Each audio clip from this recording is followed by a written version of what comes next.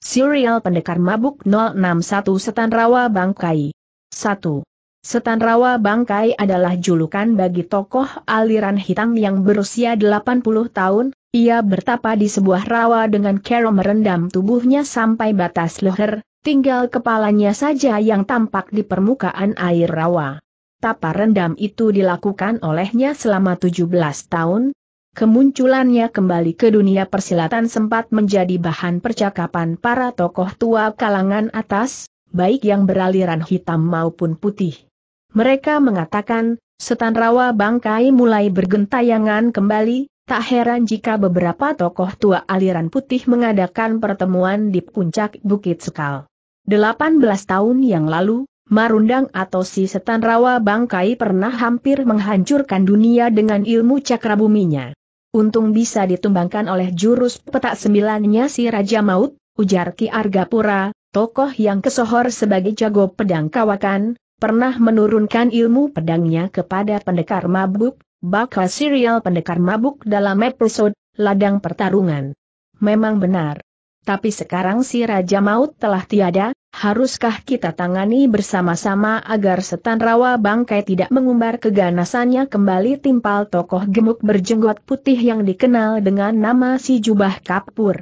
Ketua partai gelandangan itu sangat peduli sekali dengan bahaya yang mengancam kedamaian serta keutuhan dunia persilatan, karenanya dalam pertemuan di Bukit Sekal itu ia paksakan diri untuk hadir dan ikut membahasnya. Kurasa saat ini Marundang punya ilmu baru yang lebih berbahaya dan sepertinya kekuatan kita tidak cukup untuk menandingi kekuatan Marundang, kata tokoh tua berambut belakang panjang depannya botak, tanpa kumis dan tanpa jenggot. Tokoh yang mengenakan jubah abu-abu itu dikenal dengan nama Buyung Gerang, saudara seperguruan dengan Poci Dewa yang kala itu ada di sampingnya, bakal serial pendekar mabuk dalam episode Pertarungan tanpa ajal. Galak gantung, orang yang tempo hari lakukan pertarungan dengan Suto Sinting karena salah paham itu, segera ikut angkat bicara dengan sikap wibawanya. Sebenarnya ada satu orang yang bisa menandingi si setan rawa bangkai itu. Tapi entah dia mau turun tangan atau tidak dalam perkara ini.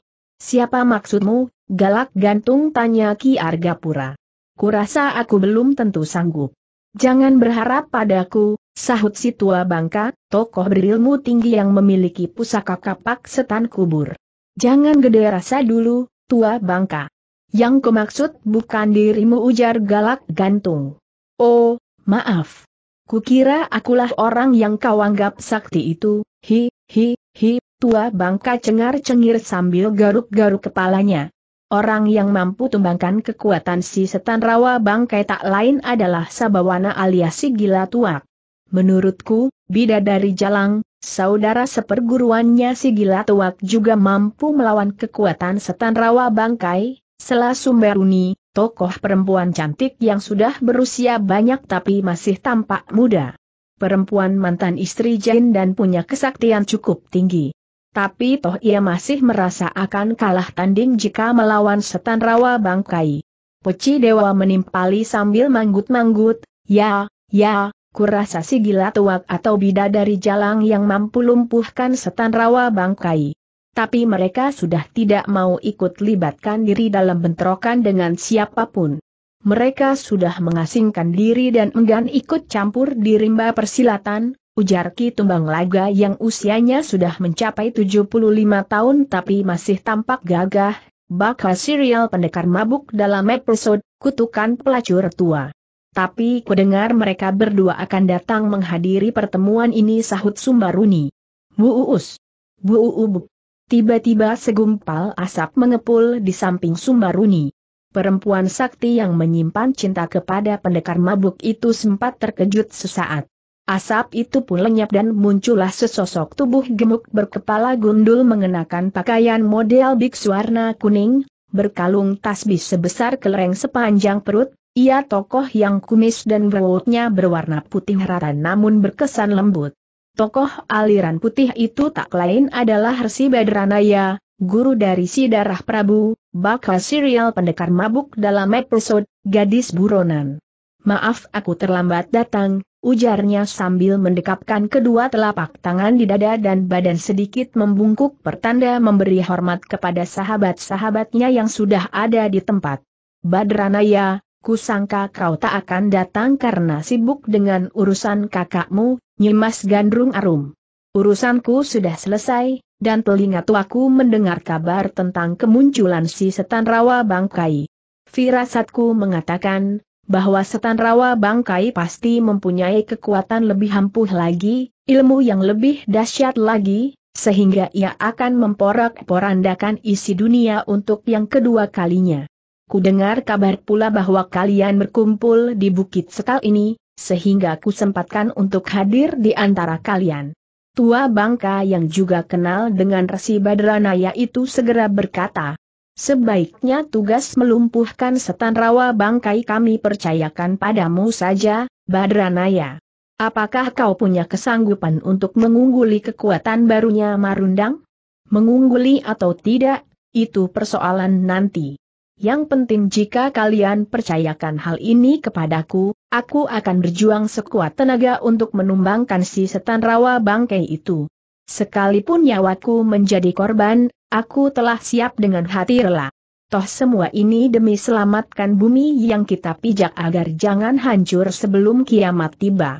Aku tidak setuju celetuk galak gantung. Aku keberatan jika Badranaya yang berhadapan dengan Marundang. Sama saja kita membuang satu nyawa secara sia-sia. Setan rawa bangkai tidak bisa ditandingi secara coba-coba. Harus ada lawan yang sekali serang bisa bikin ia binasa. Kalau kau tidak bersedia, aku pun tidak akan memaksakan diri untuk menghadapi Marundang, kata Resi Badranaya dengan nada bijaksana. Barangkali pertimbanganmu memang benar, galak gantung. Hanya saja, siapa orang yang mampu tumbangkan Marundang dalam sekali serang? Gila tuak atau bidadari jalang. Tapi mereka. Tanda petik. Tiba-tiba terdengar sebuah seruan di samping galak gantung. Mengapa harus aku? Semua mata tertuju pada si pemilik suara tersebut. Ternyata orang yang bicara itu adalah tokoh beralis tebal putih yang memakai pakalan hijau dibungkus jubah kuning lengan panjang bukaan depan. Tokoh berambut putih rata sepanjang pundak dengan ikat kepala hitam dan tongkat hitam setinggi dada itu tak lain adalah kisah bawana, atau si gila tuak. Sedangkan perempuan cantik yang tampak masih muda namun sudah berusia banyak yang berdiri di samping gila tuak adalah perempuan sakti nomor dua setelah si gila tuak. Dia adalah bidadari Jalang, mantan tokoh hitam yang sudah berpindah ke aliran putih. Keduanya itu adalah guru dari Suto Sinting yang bergelar pendekar mabuk. Keduanya muncul tanpa suara dan tanpa tanda. Bagi mereka kemunculan itu sudah tidak mengherankan. Mereka tahu, Gila Tuak dan Bidadari Jalang adalah nama tokoh sakti yang tercantum dalam daftar paling atas dari deretan tokoh-tokoh sakti rimba persilatan. Nama yang ada pada deretan ketiga setelah dua tokoh itu adalah siluman tujuh nyawa, manusia yang dikutuk menjadi orang sesat selama 300 tahun, tapi dalam pertemuan di Bukit Sekal itu, siluman tujuh nyawa tidak hadir, karena memang pertemuan itu bukan dari aliran hitam. Bidadari Jalang segera angkat bicara setelah semua tercekam hening beberapa helaan napas. Kami dengar apa yang sedang terjadi di rimba persilatan. Setan rawa bangkai bergentayangan kembali. Kami sengaja diam karena kami punya sahabat cukup banyak yang ilmunya mampu menyamai setan rawa bangkai. Kalian-kalian inilah yang sebenarnya kurang percaya diri, sehingga tidak mau bertindak secepatnya. Bidadari Jalang, ujar galak gantung. Kabar terakhir yang kudengar sebelum hadir dalam pertemuan ini ialah tentang ilmu baru yang dimiliki si setan rawa bangkai. Ada dua ilmu yang sudah ia coba untuk mengacaukan suatu daerah tanpa belas kasihan sesama manusia. Kedua ilmu itu adalah sukma sakti dan satu lagi cakar belah jagat. Seseorang yang sudah kuasai ilmu sukma sakti berarti ia hampir mencapai tingkat puncak ilmu tertinggi. Kau dan gila tuak sudah ada di tingkat yang sama, tapi kami masih jauh di bawah kalian. Jadi sia-sia saja jika kami bertindak melawan setan rawa bangkai. Satu-satunya jalan hanya kalian berdua yang mampu hentikan kekejian setan rawa bangkai. Tua bangka menyahut, kami tidak ingin buang-buang waktu, buang-buang tenaga dan yang terpenting kami tidak ingin buang-buang nyawa. Perlu diingat, bahwa kami hanya punya satu nyawa. Jadi tak bisa dipakai untuk coba-coba melawan keganasan setan rawa bangkai. Lalu untuk apa kau punya pusaka kapak setan kubur kalau masih merasa kecil di hadapan setan rawa bangkai? Nawang Tersni, kata tua bangka menyebut nama asli bidadari Jalang. Pusaka yang kumiliki sudah hancur kala aku melawan Balekubang, penguasa Pulau Tangkal yang ingin mengawini cucuku itu. Ku korbankan pusaka kapak setan kubur demi keselamatan cucuku dan kehancuran si Balekubang. Jadi, sekarang apa yang ku punya hanya kapak tebang pohon yang tak punya kekuatan apa-apa untuk melawan setan rawa bangkai. Mereka terdiam sebentar, karena baru sekarang mendengar kapak setan kubur ternyata telah hancur bersama hancurnya orang-orang Pulau Tangkal. Sayang sekali mereka tak menyaksikan pertarungan tua bangka dengan orang-orang Pulau Tangkal, sehingga peristiwa hancurnya kapak setan kubur itu tidak bisa disaksikan dengan mata kepala mereka masing-masing. Jika pada waktu itu tua bangka tidak harus melawan orang-orang Pulau Tangkal, maka ia akan membantu pendekar mabuk dalam mencari pusaka panji-panji mayat milik keluarga Dewi Hening itu, bakal serial pendekar mabuk dalam episode Misteri Bayangan Ungu. Perundingan itu berlangsung hampir sehari penuh. Pada dasarnya mereka menaruh harap kepada gila tuak atau bidadari jalang untuk menghancurkan kekejian si setan rawa bangkai. Tapi agaknya kedua tokoh sakti yang namanya cukup disegani di kalangan sejajarnya itu merasa keberatan untuk lakukan permintaan mereka. Akhirnya gila tuak berkata kepada mereka, jika kalian merasa tak ada yang sanggup tumbangkan si Marundang, maka aku akan mengutus muridku untuk melawan setan rawa bangkai. Hah tanda seru. Maksudmu si bocah tanpa pusar, Suto Sinting itu cetus tua bangka agak kaget. Tidak. Aku tidak setuju jika Suto Sinting yang harus berhadapan dengan setan rawa bangkai. Aku sangat tidak setuju ujar Sumbaruni dengan nada keras, ia tampak gusar mendengar Suto Sinting akan mendapat perintah dari sang guru untuk melawan setan rawa bangkai, sebab ia tak ingin Suto Sinting sebagai pemuda yang dicintai walau bertepuk sebelah tangan itu celaka dan hancur di tangan setan rawa bangkai. Mengapa kau tampak berang sekali setelah mendengar rencanaku? Sumbaruni tanya gila tuak dengan kalem. Suto Sinting bocah kemarin sore bukan tandingannya jika harus melawan setan rawa bangkai, itu sama saja kau ingin mencelakakan muridmu sendiri, gila tuak. Kami tidak khawatirkan hal itu, kata bidadari Jalang. Kami tidak cemaskan keselamatan Suto, sebab kami tahu seberapa tinggi kekuatannya, sehingga menurut kami ia cukup mampu mengatasi kekejian setan rawa bangkai itu, Sumbaruni. Bidadari Jalang dan Gila Tuak, Selaki Argapura, ku mohon perkara ini jangan dianggap remeh dan jangan dipakai buat main-main. Benar apa kata Sumberuni, bahwa muridmu, si pendekar mabuk, adalah bukan tandingannya setan rawa bangkai.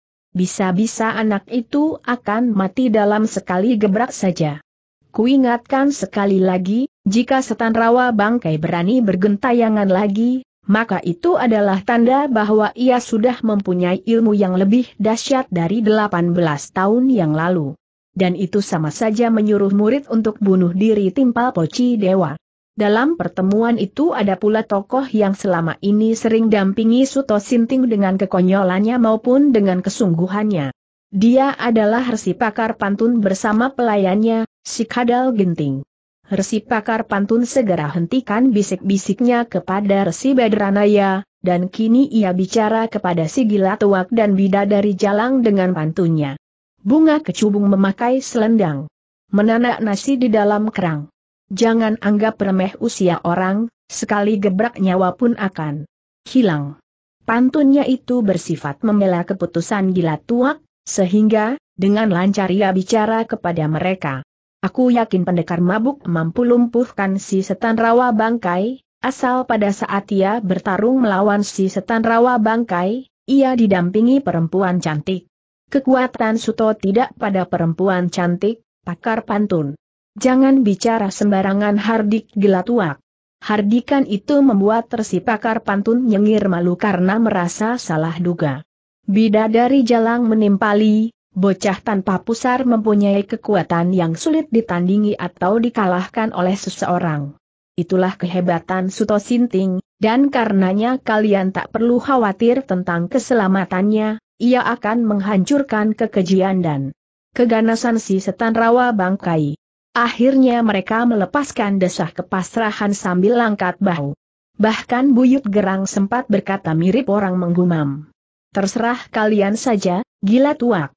Jika memang kau dan bidadari jalang yakin akan kekuatan seimbang pada diri murid kalian, lakukan saja sesuai keyakinan kalian. Masalahnya sekarang aku belum tahu, Suto Sinting ada di mana. Tolong carikan dia dan ceritakan rencanaku ini kepadanya.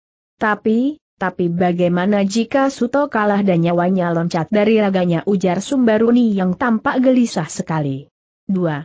Pemuda tanpa pusar yang bernama Suto Sinting kala itu sedang berhadapan dengan jagal neraka. Orang berwok berambut ikal yang mempunyai mata besar, bibir tebal dan perawakan tinggi besar itu sengaja menghadang langkah Suto Sinting ketika pemuda tampan yang membawa-bawa bumbung tuak itu melewati pantai. Jagal neraka adalah ketua perampok lembah hantu yang tempo hari nyaris mati di tangan Suto Sinting, bakal serial pendekar mabuk dalam episode Dendam Selir Malam. Rupanya kekalahannya telah membuat jagal neraka menaruh dendam kepada Suto Sinting, sehingga ia sengaja mencari pendekar berbaju coklat tanpa lengan baju itu. Jagal neraka sengaja tidak sendirian, melainkan bersama dua saudaranya, yaitu seorang adik yang bernama Kerak Singa dan seorang kakak yang bernama Iblis Bujangan. Seperti janjiku semula, kita akan bertemu lagi dan aku akan menebus kekalahanku tempo hari, pendekar mabuk ujar jagal neraka dengan mata lebarnya membelalak penuh pancaran dendam. Pendekar mabuk hanya diam saja, berdiri tegak dengan tenang. Bahkan sempat membuka bumbung tuaknya untuk ditenggak. Namun sebelumnya ia berkata kepada jagal neraka. Dendam tidak akan membawa kedamaian, jagal neraka. Dendam justru dapat menyeret orang ke liang kubur. Persetan dengan nasihatmu, bocah sinting bentak jagal neraka, maksudnya ingin menjatuhkan nyali pendekar mabuk agar merasa takut dan gentar kepadanya, namun bentakan keras itu bagai tidak didengar oleh si tampan bercelana putih kusam itu. Pendekar mabuk sunggingkan senyum sejenak, kemudian menenggak tuaknya dengan kalem. Seakan ia tidak sedang berhadapan dengan musuh. Sikapnya itu dianggap meremahkan sekali oleh jagal neraka dan memancing kemarahan jagal neraka lebih berkobar lagi. Kerak singa berkata pelan seperti menggumam. Dia menganggap ringan kehadiran kita ini, jagal neraka. Hantam saja sekarang juga biar bocah itu tahu sopan sedikit.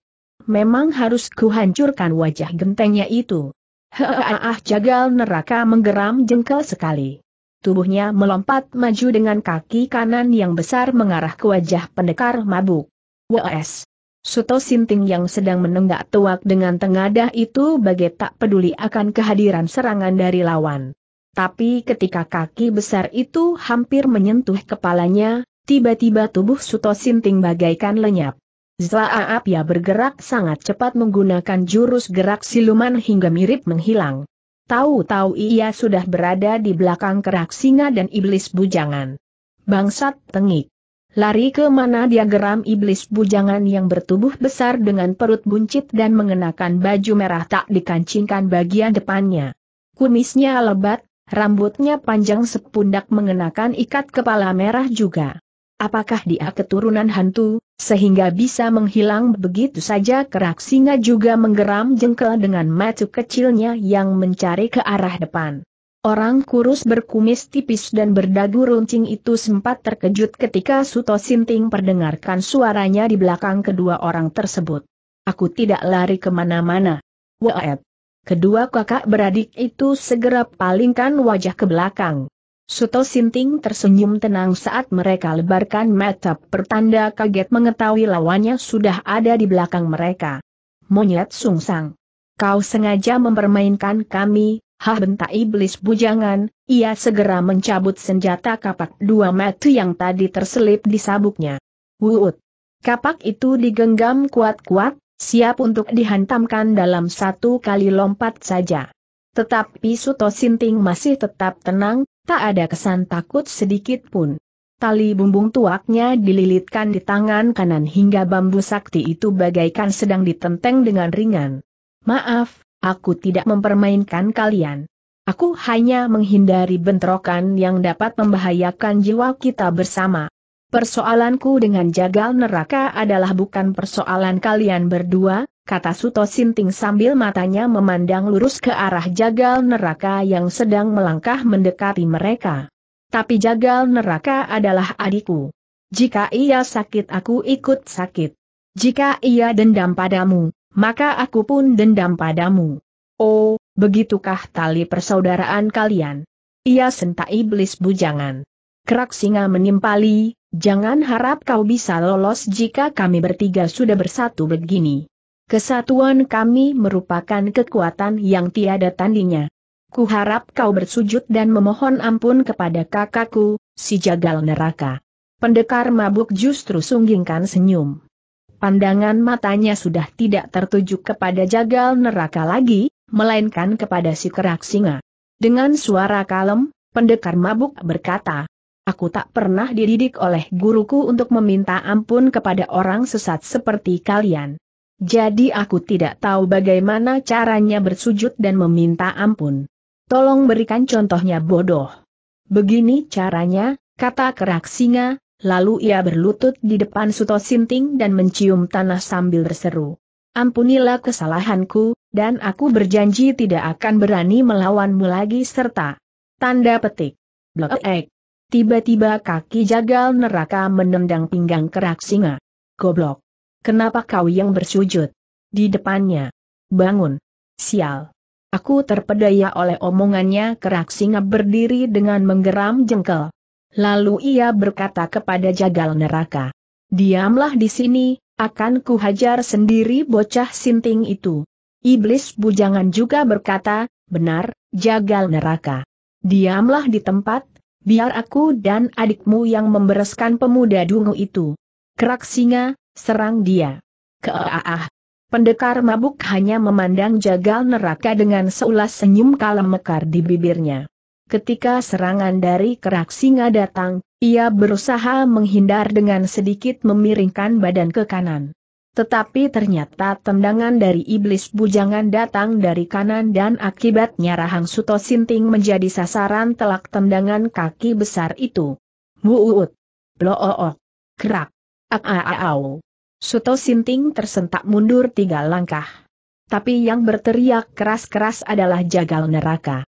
Orang berperawakan besar itu menjerit sambil memegangi rahangnya. Suto Sinting tidak bersuara sedikit pun. Kerak singa penasaran melihat Suto Sinting bagai kebal tendangan. Karenanya, kerak singa segera melesat dalam satu lompatan dan tubuhnya berputar tepat di depan Suto Sinting. Putaran tubuh itu membuat kakinya menyabet wajah Suto Sinting dengan telak sekali. Blook. Ak-au, terdengar suara jagal neraka memekik tertahan bersama tubuhnya terpelanting melintir ke kiri. Habisi saja dia seru iblis bujangan. Heah. Hiaah. Kedua kakak beradik itu maju bersama menerjang Suto Sinting. Pukulan telak meluncur beberapa kali mengenai wajah tampan pendekar mabuk. Keduanya menghajar Suto Sinting bagai orang kesurupan. Bet, bet, plok, plak, buuh, plak, ceprot. Keras. Kapak dua metu diayunkan dari atas ke bawah dan tepat membelah dada Suto Sinting. Ah ah ah ah ah.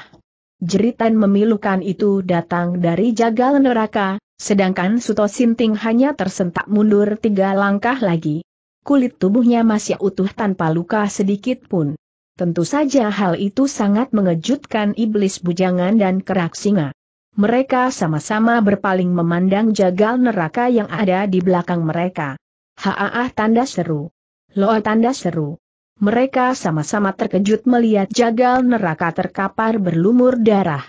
Bukan saja wajahnya menjadi babak belur tapi juga dadanya robek terbelah sampai batas pusar.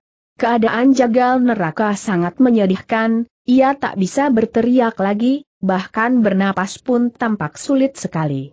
Pendekar mabuk berkata dengan suara kalem, ada rahasia yang belum kalian ketahui, bahwa orang yang tersengal-sengal begitu namanya orang sekarat. Lekas bawa pergi dan carikan obat penyambung nyawanya. Jika tidak, maka ia akan mati oleh senjata kakaknya sendiri. Bangsat. Yang kulah si bocah sinting itu, yang celaka malah jagal neraka. Ilmu macam apa yang ia miliki sebenarnya? Jangan bicara saja. Cepat bawa pergi jagal neraka dan selamatkan dia seru kerak singa dengan wajah panik. Mereka tidak tahu bahwa Suto Sinting telah menggunakan ilmu alih raga, yaitu mengalihkan rasa ke raga orang lain. Ilmu itu dilepaskan pada saat Metu Suto Sinting memandangi jagal neraka sebelum ia diserang iblis bujangan dan kerak singa tadi.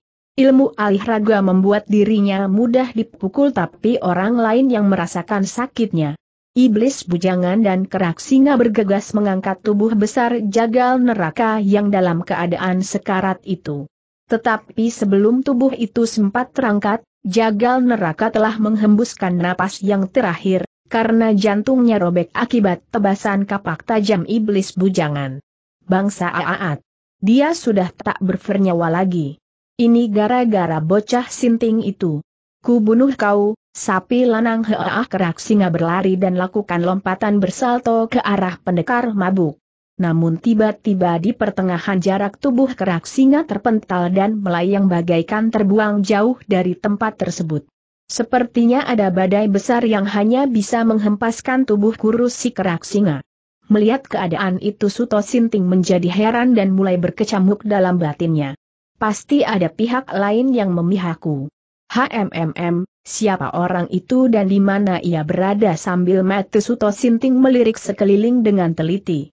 Ah, ah, ah, ah di sebelah sana kerak singa menjerit keras-keras karena tubuhnya terbanting di atas gugusan batu karang. Punggungnya terluka babak belur akibat goresan ujung runcing gugusan batu karang itu. Celaka. Kalau ku terus-teruskan bisa berbahaya. Mampus semua saudaraku pikir iblis bujangan setelah menyadari tingginya ilmu pemuda yang dihadapi itu. Kerak singa, tinggalkan tempat ini. Cepat iblis bujangan berteriak serukan perintah, ia sudah memanggul mayat jagal neraka. Setelah serukan perintah ia pun segera berkelebat pergi sambil membawa mayat adiknya. Kerak singa akhirnya ikuti saran Seng kakak, namun sebelumnya sempat berseru tinggalkan ancaman kepada Suto Sinting. Awas! Suatu saat aku akan membeset sekujur tubuhmu, bocah gila. Pendekar mabuk hanya angkat bahu dan kembangkan kedua tangan pertanda pasrah dengan ancaman itu. Tapi di bibirnya sunggingkan senyum sebagai imbang bahwa ia tak merasa gentar mendengar ancaman tersebut. Tuak pun ditenggaknya kembali tiga teguk. Tiba-tiba telinganya menangkap suara jerit di kejauhan. Jerit itu adalah jerit seorang wanita yang tak bisa ditebak muda dan tuanya. Aaaa. Pendekar mabuk kerutkan dahi dan berkata dalam hati, suara jeritan perempuan. HMMM, arahnya dari timur. Siapa dia dan ada apa dengan dirinya? Aku harus segera ke sana untuk mengetahui rahasia jeritan itu. Zlaap. Dengan menggunakan jurus gerak siluman yang kecepatannya melebihi anak panah terlepas dari busur, pendekar mabuk berkelebat menuju ke arah timur, ia tinggalkan daerah pasir pantai demi mengikuti rasa penasarannya. Zlaaap. Wuut, jelek tanda seru. Ia tiba di atas pohon tinggi dalam sekejap. Kerimbunan daun pohon membuatnya tak terlihat jelas dari bawah. Tapi dalam keadaan di atas pohon itu ia dapat memandang suasana di bawah dan sekitarnya. Oh, itu dia tanda seru mata pendekar mabuk terarah pada gerakan seorang gadis yang berlari menerabas semak bagai dikejar setan. Pendekar mabuk cepat-cepat berkelebat ke arah gadis tersebut. Zlaap. Wuut. of. Gadis itu disambarnya dari belakang, lalu dibawa melayang ke atas pohon bagaikan terbang. mulutnya segera disekap dengan tangan agar tak menimbulkan suara jeritan yang dapat diketahui oleh pengejarnya. Setelah sampai di atas pohon, di sebuah dahan besar bercabang tiga, tangan Suto Sinting melepaskan bekapannya sehingga mulut gadis itu mampu mengeluarkan engahan beruntun. Jangan berteriak. Aku bukan lawanmu. Aku seorang teman, Nona. Oha, oh oh, oha, siapa, siapa kau? Gadis itu memandang dengan rasa takut. Tapi setelah agak lama, ia mulai sadar bahwa orang yang menyambarnya itu berwajah tampan dan memikat hati. Gadis yang memakai rompi hijau muda sama dengan warna celananya itu segera hentikan rasa takutnya. Namun pandangan matanya masih menyorot penuh keheranan karena merasa asing, belum pernah jumpa dengan Suto Sinting. Sementara itu Suto Sinting sendiri sempat menatap penuh rasa kagum, karena gadis berambut pendek yang memakai ikat kepala hijau muda juga itu ternyata berparas cantik. Mungil tapi menarik. Hidungnya bangir dan matanya membelalak indah. Ketika pandangan mata Suto Sinting terarah ke dada si gadis, ia buru-buru buang pandangan karena berdebar-debar melihat dada si gadis yang montok dan mengenakan penutup dada warna merah jambu sangat tipis. Sebagian belahan dada bagian atas tampak menantang dalam kepolosan kulit lembutnya yang berwarna kuning langsat. Pandangan mata Suto saat itu ke arah pinggang, ternyata gadis itu mempunyai dua pisau di pinggang kanan kirinya. Gadis berusia sekitar 23 tahun dan bertubuh sekal itu segera mengulang pertanyaannya dengan suara masih gemetar akibat rasa takutnya tadi. Kau, kau siapa? Aku seorang sahabat. Bukan musuhmu, Nona. HMMMEH, tapi namamu siapa? Kau bisa memanggilku, Suto, jawab si pendekar mabuk tanpa mau menjelaskan siapa nama dan gelarnya yang sebenarnya. Terus terang, Nona, baru sekarang aku jumpa denganmu, sehingga aku tak tahu siapa namamu. HMMMM, HMMM, namaku, namaku Pakis Ratu. Pakis Ratu tanda seru. Oh, indah sekali. Seperti nama tanaman hias, iih gadis itu mencubit. Lengan Suto Sinting. Yang dicubit hanya tertawa kecil tanpa suara. Apakah kau benar-benar bukan berpihak pada si Dewa Tengkorak? Siapa tanda seru? Dewa Tengkorak. Oh, aku malah baru sekarang mendengar nama Dewa Tengkorak. Siapa itu Dewa Tengkorak? Pakis Ratu tampak ragu untuk menjelaskannya. Matanya melirik ke alam sekitarnya dengan perasaan cemas. Rupanya gadis itu masih merasa takut menjelaskan siapa Dewa Tengkorak itu. Kecemasan dan keraguan Pakis Ratu membuat pendekar mabuk menjadi semakin penasaran lagi. Katakan saja siapa Dewa Tengkorak itu. Jangan takut, aku melindungimu dari bahaya apa pun, Pakis Ratu. Tanda bintang. 3. Setelah beberapa saat ditunggu tak ada orang berkelebat di sekitar pohon itu, maka pendekar mabuk berani memastikan si pengejar Pakis Ratu telah kehilangan arah. Gadis itu segera dibawa turun dan mereka bicara di bawah pohon. Kebetulan di bawah pohon itu ada sebatang pohon kering yang tumbang beberapa waktu yang lalu. Suto Sinting membiarkan Pakis Ratu duduk di atas batang pohon kering itu sambil menuturkan kisahnya. Ayahku seorang lurah di Dewa Balongan. Tapi, tapi sekarang desa itu sudah tidak memiliki kepala desa lagi. Ayahku telah dibunuh oleh Dewa Tengkorak, ibuku dan keempat saudaraku juga dibunuh oleh Dewa Tengkorak. Kami sekeluarga dihabisi, nyaris tak tersisa seorang pun. Bahkan pelayan-pelayan kami pun dibantai habis oleh Dewa Tengkorak. Pakis Ratu mulai menitikan air matanya. Wajahnya tertunduk dengan napas tersengal-sengal karena isak tangis kesedihannya. Pendekar mabuk hanya menarik napas untuk menutupi rasa harunya, ia bangkit berdiri dan melangkah ke depan, kemudian berpaling kembali memandangi Pakis Ratu. Mengapa Dewa Tengkorak membantai keluargamu? Gadis itu menelan ludahnya satu kali, kemudian mencoba untuk menenangkan tangis. Sesaat kemudian barulah terdengar suaranya yang sedikit parau itu. Dewa Tengkorak adalah anak tunggal Ki Gadalumo. Dulu, Ki Gadalumo adalah lurah di desa Balongan. Tapi karena Ki Gadalu melakukan kesalahan, maka Kanjeng Adipati tidak mau memilih Ki Gadalumo sebagai lurah. Bahkan ia dipecat dari jajaran punggawa Kadipaten. Sebagai gantinya, ayahku diangkat oleh Kanjeng Adipati untuk menjadi lurah di desa Balongan. Lalu, Ki Gadalumo benci kepada ayahmu dan memusuhinya. Ki Gadalumo mati bunuh diri karena malu kepada masyarakat desa. Dewa Tengkorak yang selama ini pergi berguru mendengar kabar tersebut dan menyangka penyebab kematian ayahnya adalah ayahku. Maka ia memusuhi keluargaku.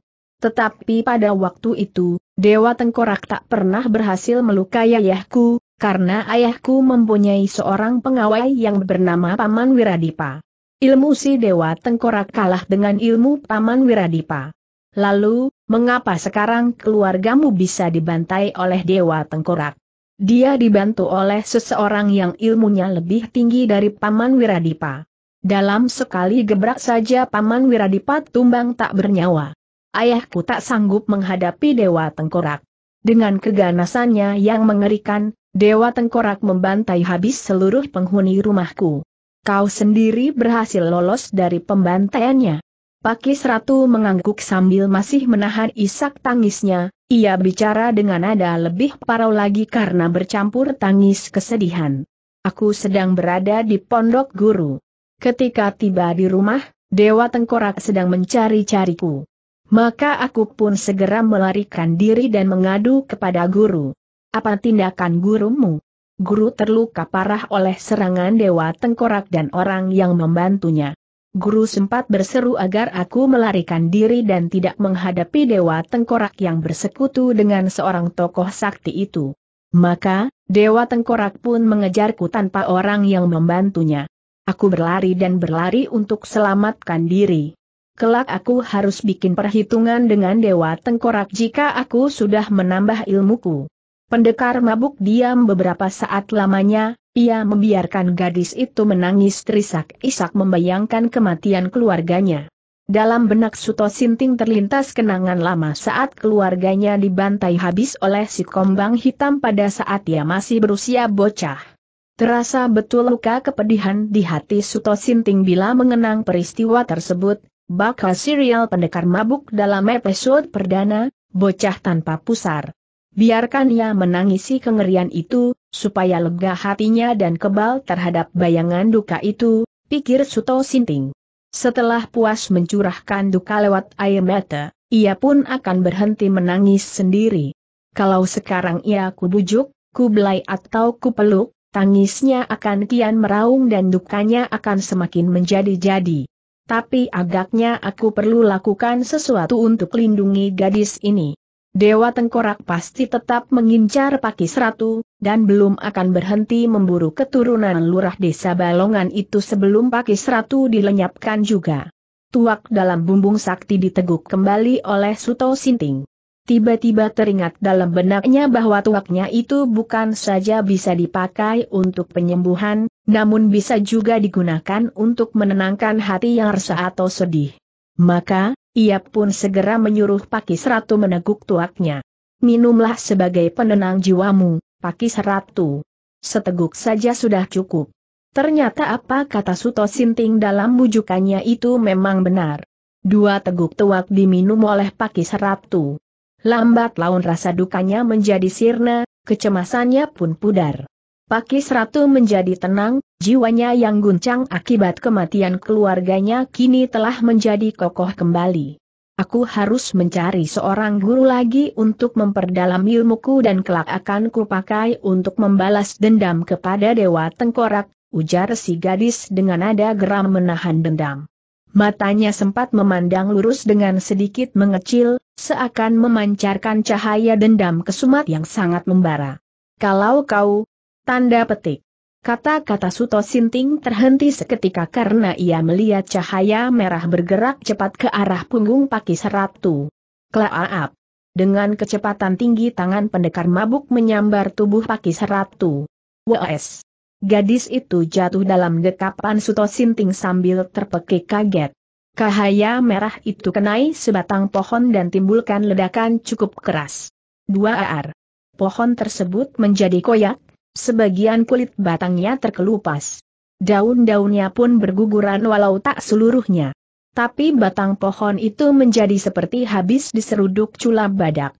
Ada yang mau membunuhku ujar Pakis Ratu dengan tegang setelah memandang nasib pohon tersebut. Tenanglah.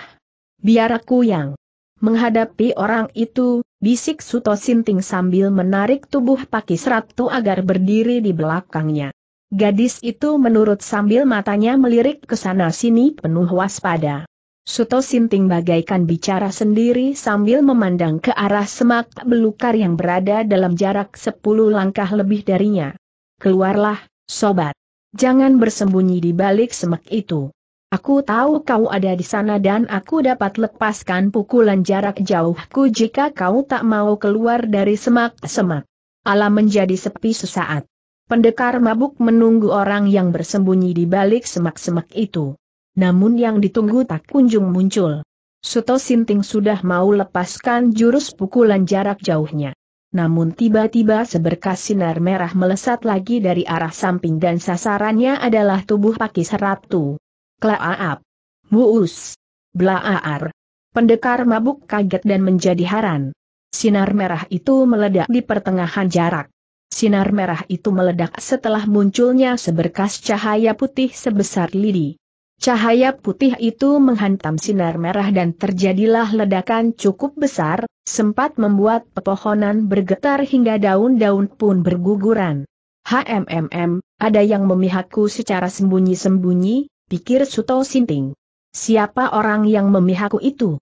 Mengapa ia tak menampakkan diri rupanya ledakan tadi menyemburkan gelombang hawa panas ke arah pengirim sinar merah tersebut.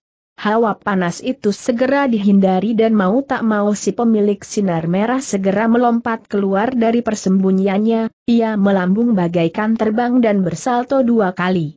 Dalam sekejap saja sudah mendaratkan kakinya di depan. Suto Sinting dan Pakis Ratu. Jleek. Oh tanda seru Pakis Ratu terpekik dengan wajah tegang memandang tokoh yang baru datang. Tokoh tersebut seorang lelaki bertubuh kurus berbaju abu-abu dan celana merah.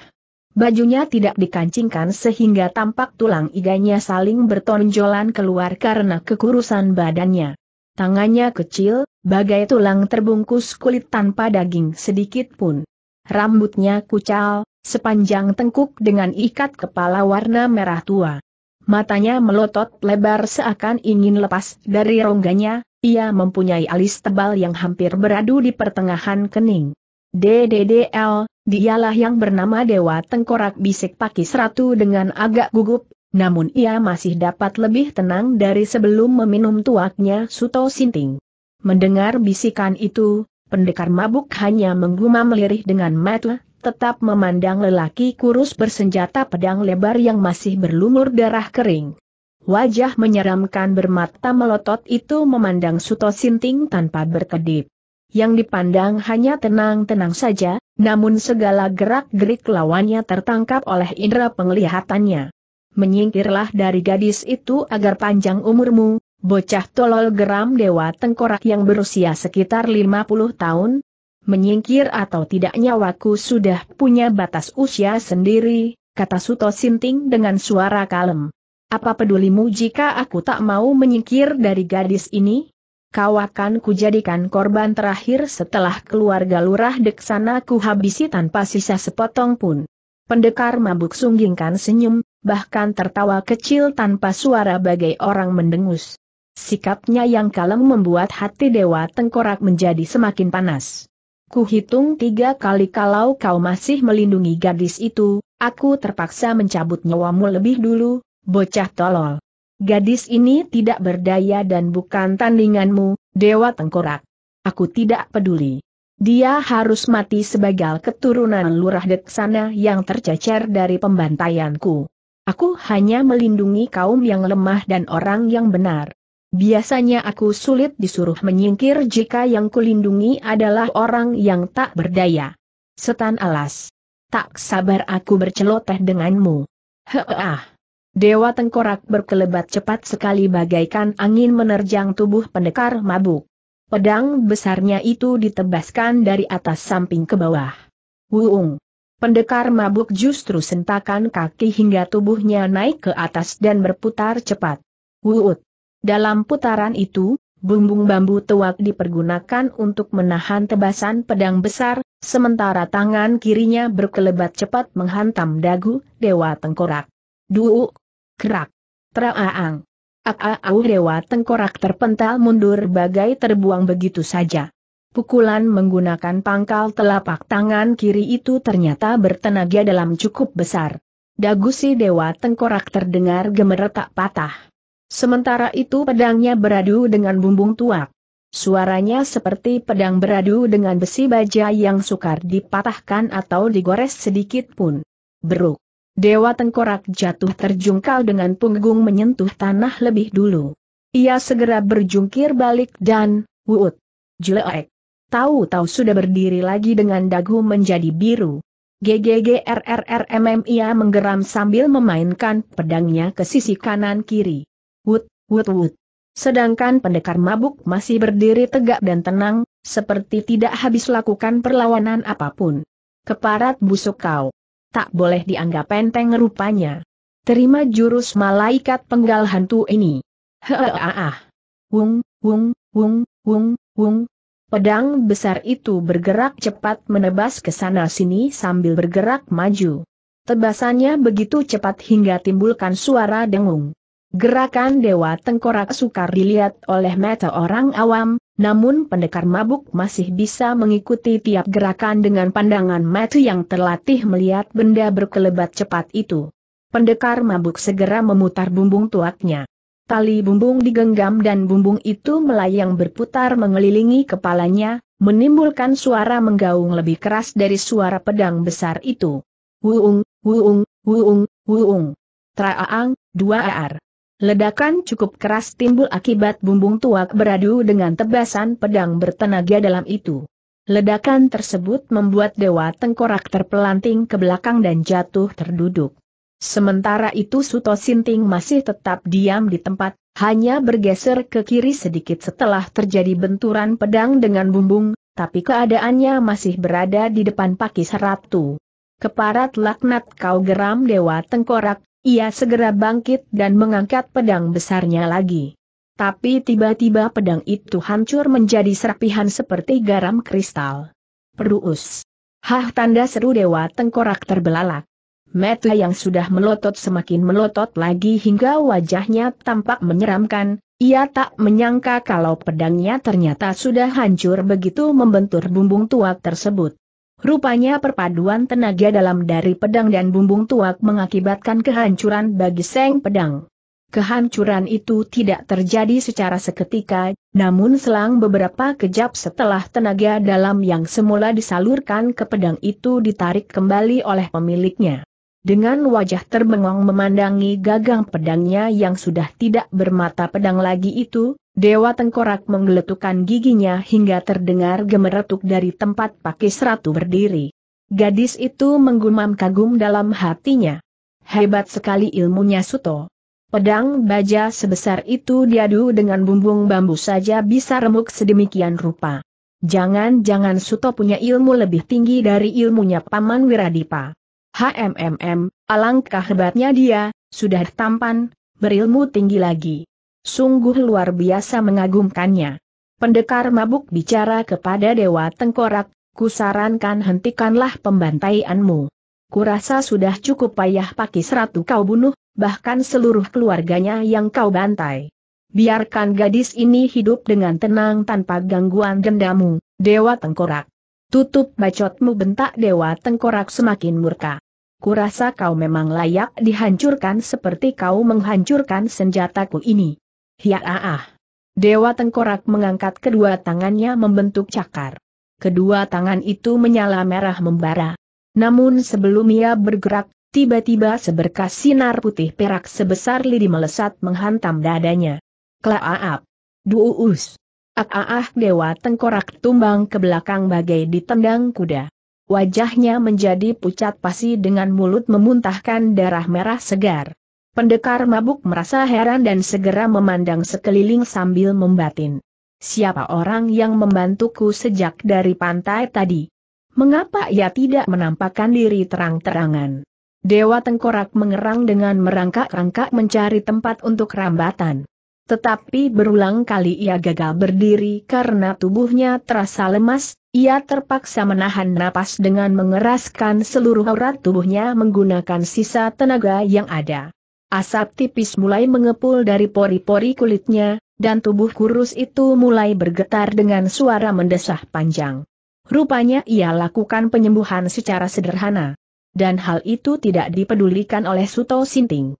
Pandangan pendekar mabuk ke arah belakangnya, karena ia menjadi penasaran ingin mengetahui siapa orang yang membantu menyerang Dewa Tengkorak itu. Pakis Ratu sendiri merasa bingung melihat Suto Sinting celingak-celinguk mirip pemuda dungu. Apa yang kau cari, Suto orang yang melepaskan sinar? Putihnya tadi. Sinar putih apa? Aku tidak melihat ada sinar putih. Pendekar mabuk makin bingung menjelaskannya. Tanda bintang. 4. Langit sore memancarkan warna merah tembaga, seakan mengisyaratkan kepada manusia akan datangnya bencana. Kematian akan terjadi di mana-mana, jerit tangis anak manusia akan menggema di seluruh pelosok dunia. Bencana yang akan timbul itu tak lain datang dari keganasan tokoh aliran hitam yang dikenal dengan nama Setan Rawa Bangkai. Pendekar mabuk belum mengetahui kemunculan setan rawa bangkai, sehingga ia masih menganggap suasana berjalan sebagaimana mestinya. Yang ada dalam benak pendekar mabuk adalah mencari tempat untuk bermalam sang gadis cantik yang sudah kehilangan seluruh anggota keluarganya itu. Namun agaknya Pakis Ratu masih meributkan soal pelarian Dewa Tengkorak yang dibiarkan Suto Sinting. Seharusnya manusia terkutuk itu jangan diberi kesempatan hidup lagi. Seharusnya kau tidak membiarkan Dewa Tengkorak melarikan diri walau dalam keadaan terluka, ia bisa saja meminta bantuan penyembuhan kepada temannya yang ilmunya lebih tinggi itu. Jika lukanya sembuh, maka ia akan mengumbar kekejian lagi, setidaknya ia akan memburuku kembali. Gadis itu bicara dengan bersungut-sungut pendekar mabuk hanya tersenyum-senyum kecil melihat raut muka si cantik mungil itu.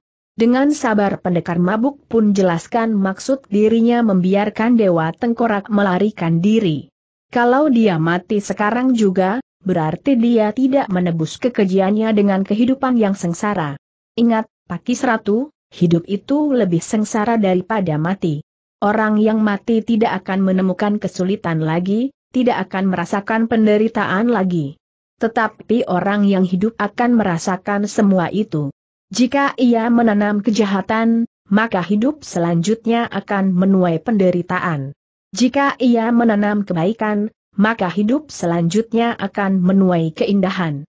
Jadi kalau Dewa Tengkorak kita biarkan hidup, berarti kita biarkan dia menuai penderitaan, diburu musuhnya, dikejar dendam, dihantui kegelisahan dan lain sebagainya.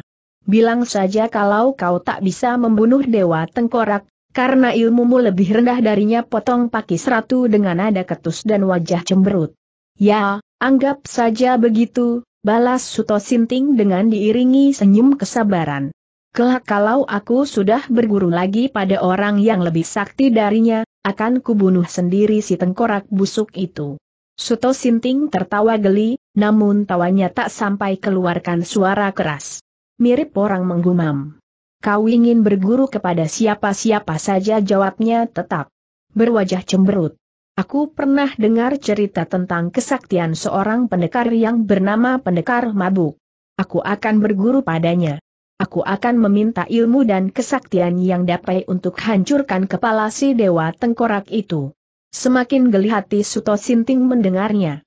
Rupanya gadis itu benar-benar belum mengetahui bahwa ia sedang berhadapan dengan pendekar mabuk. Bagi Suto, hal itu semakin membuatnya serba salah. Jika ia mengaku bahwa dirinya lah pendekar mabuk yang diceritakan Pakis Ratu, belum tentu si gadis akan mempercayainya. Jika Suto diam saja, maka alangkah kasihannya si gadis yang tidak tahu di mana pendekar mabuk berada. Yang penting sekarang mencari tempat untuk bermalam. Kau butuh istirahat, Pakis Ratu. Ucapan itu disertai belayan lembut di rambut Pakis Ratu. Si gadis merasakan debaran aneh di hatinya yang membuat ia tak mampu menepiskan tangan yang membelai rambut pendeknya itu. Ia hanya berlagak acuh tak acuh, seakan tidak menghiraukan usapan lembut dari tangan pemuda tampan itu. Aku ingin menemui guruku lagi. Mungkin guru butuh bantuan karena luka-lukanya. Di pondoknya itu aku bisa bermalam dan beristirahat. Siapa gurumu sebenarnya, Pakis Ratu? Nyai Kidung Laras. Pendekar mabuk kerutkan dahi, merasa asing dengan nama Nyai Kidung Laras.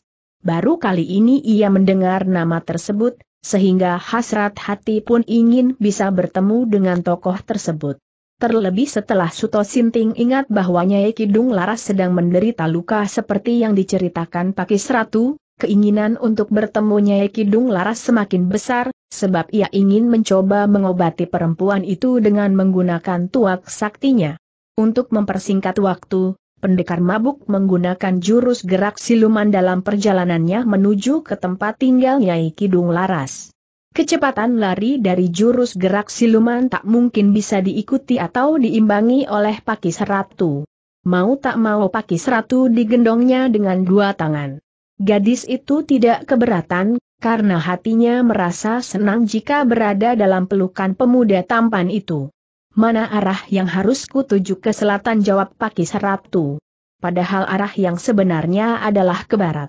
Pakis Ratu sengaja memperjauh jarak supaya ia lebih lama berada dalam gendongan pendekar mabuk.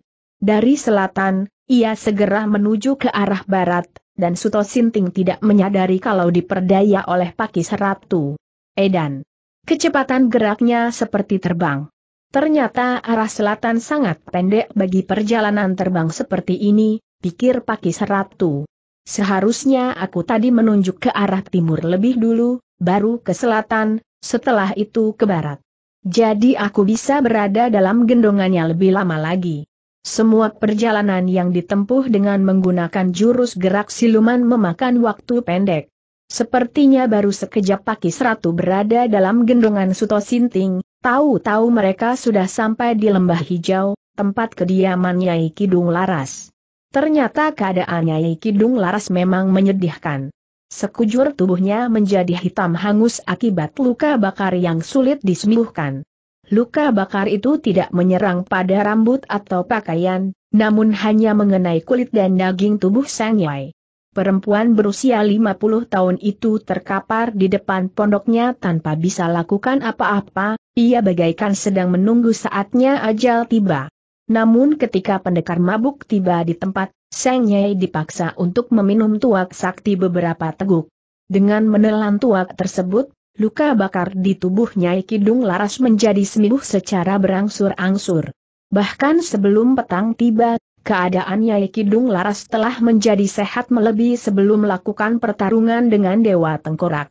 Perempuan berjubah ungu yang rambutnya disanggul asal-asalan itu ternyata dulunya bekas perempuan cantik. Terbukti sampai sekarang rona kecantikannya masih membekas di wajah Sang Yai. Badannya tidak terlalu kurus, namun juga tidak gemuk. Badan itu masih terawat dengan rapi dan tampak sekal berisi. Dalam hati Suto Sinting mengakui, perempuan separuh baya itu masih punya daya pikat sendiri bagi seorang lelaki, hanya saja tidak terlalu ditonjolkan. Nyai Kidung Latas bukan perempuan jalang yang yang melirik nakal. Ia justru tampak berharisma dengan ketenangannya yang kadang membuat Suto Sinting kikuk bicara. Luka yang kuterima ini bukan dari ilmunya Dewa Tengkorak, kata Sang Nyai saat menyalakan pelita. Jika bukan Dewa Tengkorak, lantas siapa yang menyerangmu? Nyai tanya Suto Sinting dengan tutur kata yang ramah dan lembut. Dewa Tengkorak sekarang bersekutu dengan setan rawa bangkai yang baru selesai lakukan semadi rendam di rawa busuk itu. Agaknya Dewa Tengkorak sekarang sudah menjadi pelayan setan rawa bangkai, karena ia ingin memanfaatkan kesaktian setan rawa bangkai untuk kepentingan pribadinya. Salah satu kepentingan pribadi yang sudah dibantu oleh Setan Rawa Bangkai adalah membantai keluarganya Pakis Ratu, pendekar mabuk menggumam sambil manggut-manggut. Petang dibiarkan lewat, karena ia sudah sepakat dengan Pakis Ratu untuk bermalam di pondok Nyai Kidung Laras. Siapa yang dimaksud setan rawa bangkai itu? Guru tanya Pakis Ratu yang rupanya baru kali itu mendengar nama setan rawa bangkai. Sang Nyai pun menjelaskan kepada muridnya, tapi pendekar mabuk menyimak betul tiap ucapan Sang Nyai sebagai bekal pengetahuannya tentang tokoh beraliran hitam tersebut. Setan rawa bangkai mempunyai nama asli Marundang. Usianya sudah sangat tua tapi kekuatannya masih seperti anak muda. Dia bekas ketua perguruan Layak Garang. Semasa jayanya perguruan itu ditakuti oleh perguruan lain. Jurus-jurusnya sangat mematikan dan tidak kenal belas kasihan kepada lawan. Suto Sinting menyempatkan meneguk tuaknya ketika Nyai Kidung Laras hentikan cerita sebentar karena terbatuk-batuk. Batuk itu adalah sisa gatal di tenggorokan karena tak pernah meminum air tuak. Sang Nyai pun lanjutkan ceritanya, Perguruan Leak Garang menyediakan tenaga-tenaga pembunuh bayaran, pengawal bayaran dan orang-orang upahan yang siap menerima perintah dari siapa saja yang berani memberi upah tinggi kepada mereka. Tetapi pada suatu hari, perguruan Leak Garang diserang oleh orang-orang Pulau Kebuang yang diketuai Medang Sula. Siapa yang unggul, guru perguruan Leak Garang disapu. Habis oleh orang-orang Pulau Kelabang. Tinggal si Marundang seorang diri. Ia mengamuk dan membabat habis orang Pulau Kelabang, sampai ketua mereka pun dibinasakan tanpa ampun oleh Marundang. Sejak itu ia tinggal seorang diri di dalam hutan, di tepi rawa busuk yang disebut rawa bangkai. Hatinya menyimpan dendam kepada orang-orang rimba persilatan, karena saat perguruannya diserang oleh orang-orang Pulau Kelabang, tak ada satupun orang yang mau memihaknya. Maka timbullah dendam di hati Marundang untuk membantai habis seluruh tokoh rimba persilatan. Dengan kesaktiannya yang tinggi, ia menyebarkan kematian secara membabi buta. Tapi akhirnya ia nyaris binasa oleh lawannya yang dikenal dengan nama si Raja Maut. Tanda petik. Raja Maut. Oh, saya kenal betul dengan mendiang Raja Maut, Nyai ujar Suto Sinting memotong pembicaraan Sang Nyai, bakal serial pendekar mabuk dalam episode Ratu Tanpa Tapak. Aku pun kenal dengan Raja Maut, tapi, kau sebut tadi mendiang padanya? Jadi, Raja Maut sekarang sudah meninggal. Sudah, Nyai. Beliau tewas di tangan Rara Sumina, jawab Suto Sinting dengan nada duka, bakal serial pendekar mabuk dalam episode Gundi Sakti. Setelah diam sesaat, Nyai Kidung Laras perdengarkan suaranya kembali.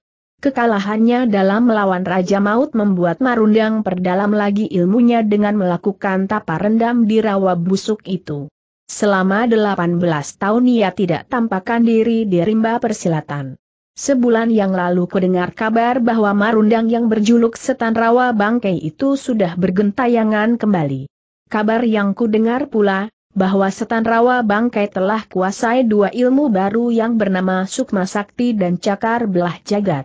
Kedua ilmu itu sama-sama berbahaya karena hampir mencapai tingkat tertinggi dari segala ilmu. Pendekar mabuk menjadi sangat tertarik mendengar nama dua ilmu barunya setan rawa bangkai itu. Ia pun segera ajukan tanya kepada Nyai Kidung Laras. Apa kehebatan kedua ilmu itu, Nyai? Yang dinamakan ilmu sukma sakti itu adalah menyerang lawan tanpa gerakan namun dapat membuat lawan terluka parah, bahkan bisa meremukan kepala lawan. Sedangkan ilmu atau jurus cakar belah jagat itu tak lain adalah kecepatan gerak tangan yang mempunyai kuku beracun dan bertenaga dalam tinggi, hingga tanah pun dapat terbelah jika dicakarnya dengan jurus cakar belah jagat. Dan kedua ilmu itu sukar ditandingi, Suto. Barangkali hanya si gila tuak saja yang bisa menandingi ilmunya setan rawa bangkai. Pendekar mabuk sempat terperanjat mendengar nama gurunya disebutkan. Suto Sinting sendiri masih belum tahu apakah Nyai Kidung Laras tidak tahu bahwa Suto adalah si pendekar mabuk, muridnya gila tua, atau jangan-jangan Nyai Kidung Laras berlagak tidak tahu tentang jati diri Suto Sinting. Hal itu akhirnya tidak dipedulikan oleh Suto. Yang ada dalam benak Suto adalah ingin mengetahui seberapa hebat kedua ilmu barunya setan rawa bangkai itu. Karenanya ia pun segera ajukan tanya kepada Nyai Kidung Laras. Di mana aku dapat temui setan rawa bangkai itu, Nyai? Jangan sergah Pakis Ratu secara tiba-tiba. Nyai Kidung Laras sunggingkan senyum kecil, kemudian bertanya kepada pendekar mabuk. Untuk apa kau ingin tahu tempat tinggal setan rawa bangkai? Saya ingin melihat kehebatan kedua ilmu itu, Nyai. Jangan, Suto. Nanti kau akan mati jika bertemu muka dengannya. Guruku saja tak bisa tandingi setan rawa bangkai, apalagi dirimu, Suto. Gadis itu menambahkan kecemasannya. Agaknya ia tak ingin Suto Sinting menderita celaka sekecil apa pun. Entah perasaan apa yang mendasari rasa tidak rela jika Suto celaka, yang jelas kala itu Pakis Ratu pandangi Suto Sinting dengan sorot pandangan mata bernada memohon pengertian dari Suto. Bahkan ia mengulang bujukannya yang bernada larangan itu. Kumohon, jangan coba-coba temui dia. Lebih baik kau tidak perlu tahu kehebatan dua ilmu barunya itu, ketimbang kau sendiri menjadi korban nantinya. Nyai Kidung Laras menimpali, kurasa saran dari muridku itu memang benar, Suto. Aku tahu arah perasaannya saat ini, tapi sebaiknya biar kau sendiri yang menarik kesimpulan. Pendekar mabuk tersenyum malu-malu. Tanda bintang. 5.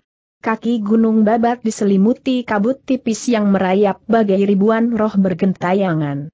Kabut tipis itu berada satu meter kaki dari tanah, membuat akar pepohonan tampak samar-samar. Hutan di kaki gunung itu banyak ditumbuhi pohon jati liar yang menjulang tinggi bagai ingin mencakar langit. Hutan itu jarang dilintasi manusia karena keadaannya yang cukup liar. Binatang buas dan rawa-rawa menyebar bak penghuni tetap hutan tersebut. Seekor ular sebesar batang kelapa yang panjangnya lebih dari tujuh tombak sedang merayap pelan menuju semak belukar. Di balik semak itu ada sebuah gua bermulut lebar.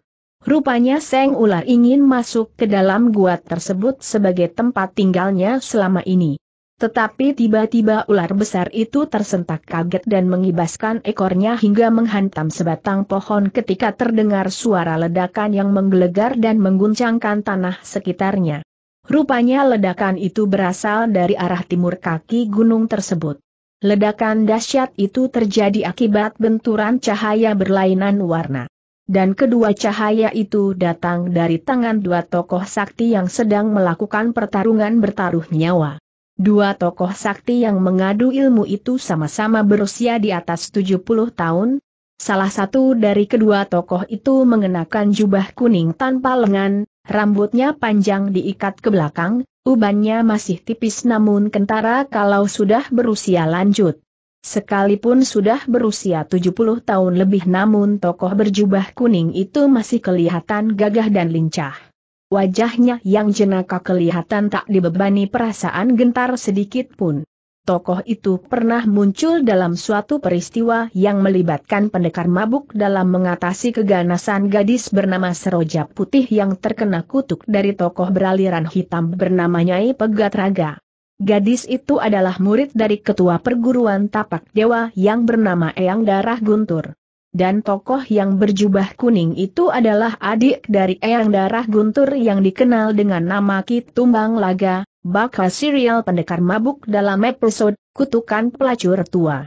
Sedangkan lawan yang dihadapi Ki Tumbang Laga kali itu adalah tokoh yang sedang menjadi bahan pembicaraan orang-orang rimba persilatan, ia tak lain adalah Setan Rawa Bangkai yang mempunyai nama asli Marundang. Setan Rawa Bangkai bertubuh lebih kurus dari Ki Tumbang Laga. Bahkan lebih kurus lagi dari si Dewa Tengkorak.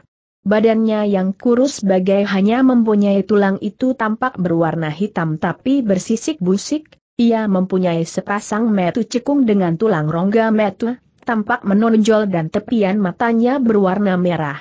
Rambut panjang sepunggung dibiarkan meriap lepas berwarna abu-abu.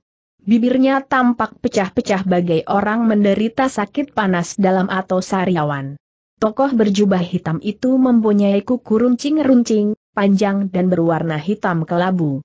Ketajaman kukunya itu sempat merobek sebatang pohon jati ketika ia menyabet perut Ki Tumbang Laga dengan gerakan mencakar. Untung Ki Tumbang Laga cepat menghindar dengan lakukan sentakan yang membuat tubuhnya melambung ke atas dan berjungkir balik satu kali di udara, kemudian kakinya menyentak pada batang pohon, sehingga tubuh Ki Tumbang Laga bagaikan meluncur terbang pindah ke tempat lain. Wuut! Kraaak! Lima kuku panjang dan runcing itu menyebat batang pohon dan batang pohon besar itu menjadi koyak berserat-serat bagai terbabat lima mata pedang. Sedangkan pohon di kanan kirinya menjadi hangus pada tempat-tempat tertentu karena terkena angin sabetan cakar tersebut. Setan rawa bangkai diam di tempat dan pandangi lawannya dengan metu cekung yang cukup tajam. Rambutnya tertutup angin hingga sebagian merintangi permukaan wajahnya. Kedua tangan di samping masih berjari keras seakan siap-siap lakukan cakaran berikutnya. Ki Tumbang Laga sudah berdiri di depannya dalam jarak tujuh langkah. Tokoh tua berwajah jenaka itu tersenyum bagai menyepelekan perlawanan setan rawa bangkai. Dari tempatnya cengar-cengir, Ki Tumbang Laga lontarkan kata dengan suara lepas. Sampai kapan pun kau tak akan bisa mengungguli ilmuku, Marundang. Sebaiknya kau menyerah saja dan merelakan nyawamu melayang sebagai penebus kematian murid kakakku, si seroja putih itu. Kau datang kemari untuk antarkan nyawamu, tumbang laga. Oh, tidak. Jangan salah paham. Aku tidak mengantarkan nyawa, melainkan diutus oleh kakakku, si darah guntur untuk menebus kematian seroja putih. Sebab murid kakakku itu telah kau bunuh melalui tangan pelayan musi Dewa Tengkorak. Seandainya sekarang pun aku dapat jumpa dengan Dewa Tengkorak, maka kalian berdua akan kuantarkan ke neraka tanpa dipungut biaya sedikit pun, Marundang. Kematian Seroja Putih bukan atas perintahku, tapi tindakan si Dewa Tengkorak sendiri. Mengapa kau menuntut padaku, tumbang laga? Atas perintahmu atau bukan, yang jelas kau bertanggung jawab atas segala perbuatan Dewa Tengkorak. Sebab ia berani bertindak semena-meni karena merasa mendapat perlindungan darimu. Mustahil sekali Dewa Tengkorak berani bertindak semena-meni jika tidak atas dukungan darimu, Marundang. Dengan metu cekung memancarkan kebencian, setan rawa bangkai berkata bagai tanpa irama dan nada. Datar sekali. Tak ada pilihan lain, bersiaplah untuk mati lebih dulu. Tiba-tiba tubuh Ki Tumbang Laga terlempar ke samping dengan kuat sekali. Wuut! Berus! Tubuh itu menghantam pohon besar tanpa dapat menjaga keseimbangannya. Kepala Ki Tumbang Laga membentur batang pohon dengan keras sekali hingga terdengar suara seperti tulang meretak. Praak! Ah ah pekik pendek Ki Tumbang Laga mengawali cucuran darah yang keluar dari kepalanya. Setan rawa bangkai masih diam di tempat dan hanya memandang dengan sorot mata semakin tajam. Tanpa gerakan sedikit pun, ia telah dapat membuat tubuh Ki Tumbang Laga yang baru saja terpuruk di bawah pohon tersebut telah melayang lagi ke arah lain, bagai dilemparkan ke suatu tempat dengan gerakan layang sangat cepat. W.S. Beruus. Praaak. Ak-auh pekihkan Ki Tumbang Laga terdengar kembali setelah tubuhnya menabrak sebongkah batu sebesar kerbau berdiri. Ki Tumbang Laga tidak tahu bahwa setan rawa bangkai telah pergunakan ilmu sukma sakti, yang bisa menghantam atau menyerang lawannya dengan kekuatan batin. Karena itu, Ki Tumbang Laga yang masih mencoba untuk bisa berdiri lagi, tiba-tiba tersentak ke belakang dengan kepala mendongak ke atas. Ia seperti mendapat pukulan dahsyat pada dadanya. Padahal saat itu setan rawa bangkai hanya diam di tempat tanpa lakukan gerakan sedikit pun. Huugah Ki Tumbang Laga pejamkan mata kuat-kuat dengan tubuh melengkung ke belakang. Dadanya menjadi berasap dan membekas hitam berbentuk telapak tangan. Bekas hitam itu mengepulkan asap putih samar-samar, disusul dengan muntahnya darah kental berwarna merah kehitaman dari mulutnya. Dalam keadaan separah itu, tubuh Ki Tumbang Laga melayang kembali. Kali ini ia melambung tinggi tanpa mendapat pukulan atau tendangan dari lawannya. Tubuh yang melambung tinggi itu segera bergerak turun dalam keadaan kepala di bawah. Darah makin tersontak banyak dari mulutnya. Kepala Ki Tumbang Laga bergerak ke arah sebongkah batu yang ujungnya runcing. Kepala itu akan menancap pada keruncingan batu tersebut. Zlaap. Wuut. Tiba-tiba sekelebat bayangan menyambar tubuh Ki Tumbang Laga. Dalam sekejap saja bayangan itu sudah berhasil memanggul tubuh Ki Tumbang Laga dan menampakkan diri dalam jarak 10 langkah dari setan rawa bangkai. Pandangan Mat Marundang sempat terkesiap sejenak dengan metu cekungnya yang mengecil, ia merasa asing terhadap kemunculan tokoh muda yang berani menyambar tubuh Ki Tumbang Laga. Tokoh muda itu tak lain adalah Suto Sinting, si pendekar mabuk yang kali ini menyilangkan bumbung tuaknya di punggung. Dengan tangan kiri memegangi tubuh Ki Tumbang Laga yang dipanggulnya, Suto Sinting sempat beradu pandangan matu dengan setan rawa bangkai. Siapa kau tanda seru gertak setan rawa bangkai tanpa bergerak sedikit pun dari tempatnya berdiri. Suto Sinting tidak memberi jawaban, bahkan melepaskan serangan pun tidak, ia hanya berkelebat sambil membatin dalam hatinya. Menyeramkan sekali tokoh itu. Pasti dia itulah yang dikenal setan rawa bangkai. Rupanya kedatanganku nyaris terlambat. Ki tumbang laga hampir saja mati di tangannya. HMMM, rupanya arah yang ditunjukkan oleh Nyai Kidung Laras tak membuatku salah jalan. Kurasa di hutan inilah terdapat rawa busuk yang baunya menyebar sampai di tempat ini. Sebaiknya tidak kulayani sekarang, aku harus selamatkan jiwa Ki Tumbang Laga dulu. Zlaap. Hei, jangan pergi. Jawab dulu pertanyaanku, monyet sentak setan rawa bangkai dengan suara seraknya. Tetapi pendekar mabuk tetap pergi dengan pergunakan jurus gerak siluman yang mampu bergerak dengan kecepatan sangat tinggi bagai menghilang dari pandangan matu itu. Namun agaknya setan rawa bangkai tidak mau melepaskan lawannya begitu saja. Pandangan matanya masih mampu melihat gerakan secepat anak panah, sehingga dengan kekuatan batin dari ilmu sukma sakti, ia menyerang Suto Sinting dan membuat pendekar mabuk tiba-tiba terjungkal bagai dibanting oleh tenaga gaib yang tak kelihatan. Wuut! Beruk! Ah ah! Suara rintihan itu datang dari mulut Ki Tumbang Laga yang sudah terluka sangat parah itu, sebab keadaan Ki Tumbang Laga tertindih tubuh Suto Sinting yang tak bisa kendalikan keseimbangan badannya. Celaka. Dia menggunakan kekuatan batinnya untuk menyerangku geram Suto Sinting dalam hati. Aku tak bisa melawannya karena serangan itu tak bisa dilihat mata. Uh, uh, uh hidungku, sial betul. Hidungku jadi berdarah akibat bantingan keras tadi. Uh, uh, uh, tulangku pun terasa remuk semua kalau begini. Zaap. Setan rawa bangkai tiba-tiba sudah berada di depan Suto Sinting dalam jarak enam langkah. Namun sebagai seorang pendekar, Suto Sinting tak mau menyerah begitu saja, ia berusaha bangkit dan membiarkan Ki Tumbang Laga terkapar di tanah. Sayangnya, baru saja ia bangkit dengan satu kaki berlutut, tiba-tiba datang serangan tenaga besar tanpa terlihat bentuknya. Tahu-tahu saja dagu Suto Sinting bagai ditendang oleh kaki bertenaga dalam cukup besar. Serangan pada dagu membuat kepala pendekar mabuk tersentak ke belakang dalam keadaan terdongak dan rasa sakit menyerang dari ubun-ubun sampai telapak kaki. Wuut! Berus! Suto Sinting terpental ke belakang lima langkah jauhnya dari tubuh Ki Tumbang Laga. Mulutnya menyemburkan darah segar karena tenggorokannya pun terasa seperti terkena tendangan bertenaga besar. Suto Sinting nyaris tak bisa bicara lagi, bahkan pernapasannya menjadi sesak sekali. Tuak, mana tuaku tanda seru. Tuak pikir Suto Sinting sambil berusaha meraih bumbung tuaknya yang masih menyelang di punggung. Wuut. Blek Heege Suto Sinting tersentak mendelik karena perutnya terasa mendapat pukulan besar yang makin membuat napasnya sulit dihela lagi. Serangan itu tetap datang dari si setan rawa bangkai dengan menggunakan ilmu sukma saktinya. Serangan tersebut membuat Suto Sinting terpuruk lemas bagai kehilangan seluruh tenaga. Hanya ada sisa tenaga sedikit yang dapat digunakan untuk meraih bumbung tuaknya.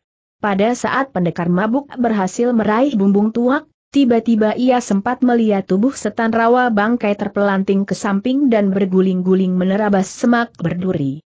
Guzraa ia bagaikan tersapu badai yang sulit dihindar lagi. Bahkan semak yang diterabasnya menjadi rusak, akar-akarnya berhamburan keluar dari tanah. Siapa yang menyerangnya pikir Suto Sinting sambil berusaha memandang keadaan sekeliling. Tapi tak ada bayangan manusia yang berdiri di sekitar tempat itu. Ah, persetan dengan penyerangnya itu. Tuak harus kuminum lebih dulu supaya mengembalikan tenagaku. Glek, glek, glek. Tiga teguk tuak sudah cukup menyegarkan tubuh pendekat mabuk. Tenaganya yang pulih secara sedikit demi sedikit itu membuatnya lekas bangkit berdiri dan memandang ke arah jatuhnya setan rawa bangkai. Tampak kepala setan rawa bangkai tersumbul dari ketinggian semak ilalang. Agaknya tokoh berilmu tinggi itu ingin lakukan serangan kembali kepada Suto Sinting. Zaapia muncul dalam gerakan secepat kilat, dan tahu-tahu sudah berada di depan Suto Sinting. Namun lagi-lagi sebuah serangan yang tak berbentuk dan tak berwarna itu datang kepadanya membuat tubuhnya tumbang ke belakang dan berguling-guling bagai dilanda badai. Wut, beruus. Wes, wes, wes. Guzra'aak. Siapa orang yang menyerangnya pikir Suto Sinting dengan rasa heran. Sepertinya serangan itu ditujukan untuk membelaku. HMMM, Kurasa dia adalah orang yang membantuku menghindari bahaya saat aku ada di pantai dan saat aku bertarung melawan Dewa Tengkorak. Oh, ya, sebaiknya ku selamatkan dulu Ki Tumbang Laga yang sedang sekarat itu. W.S. Suto Sinting menyambar tubuh Ki Tumbang Laga. Zlaap. Ia pun segera membawa pergi Ki Tumbang Laga yang sekarat itu dengan pergunakan jurus gerak silumannya. Ia tinggalkan setan rawa bangkai demi menyelamatkan Ki Tumbang Laga dan tidak mempedulikan siapa orang yang membelanya itu. Jauh dari kaki gunung babat, pendekar mabuk meletakkan tubuh Ki Tumbang Laga yang sudah seperti kertas putih itu, ia paksakan mulut Ki Tumbang Laga untuk menerima kucuran tuaknya. Beberapa teguk tuak masuk ke tenggorokan Ki Tumbang Laga, hingga akhirnya Ki Tumbang Laga tersedak dan terbatuk-batuk. Darah kental keluar dari mulut itu bercampur dahak. Tapi beberapa saat kemudian, napas Ki Tumbang Laga menjadi lega dan wajah pucatnya berangsur-angsur pudar. Tokoh tua itu pun membuka mata pelan-pelan. Tanda bintang. 6. Noda hitam di dada Ki Tumbang Laga yang membentuk telapak tangan itu, telah lenyap sejak Ki Tumbang Laga meneguk tuak saktinya pendekar mabuk. Bahkan rasa sakit di sekujur tubuhnya pun telah hilang sama sekali. Ki Tumbang Laga merasa lebih segar dan lebih sehat dari sebelum melakukan pertarungan dengan setan rawa bangkai. Terima kasih atas pertolonganmu, kata Ki Tumbang Laga dengan pandangi Suto Sinting penuh rasa kagum.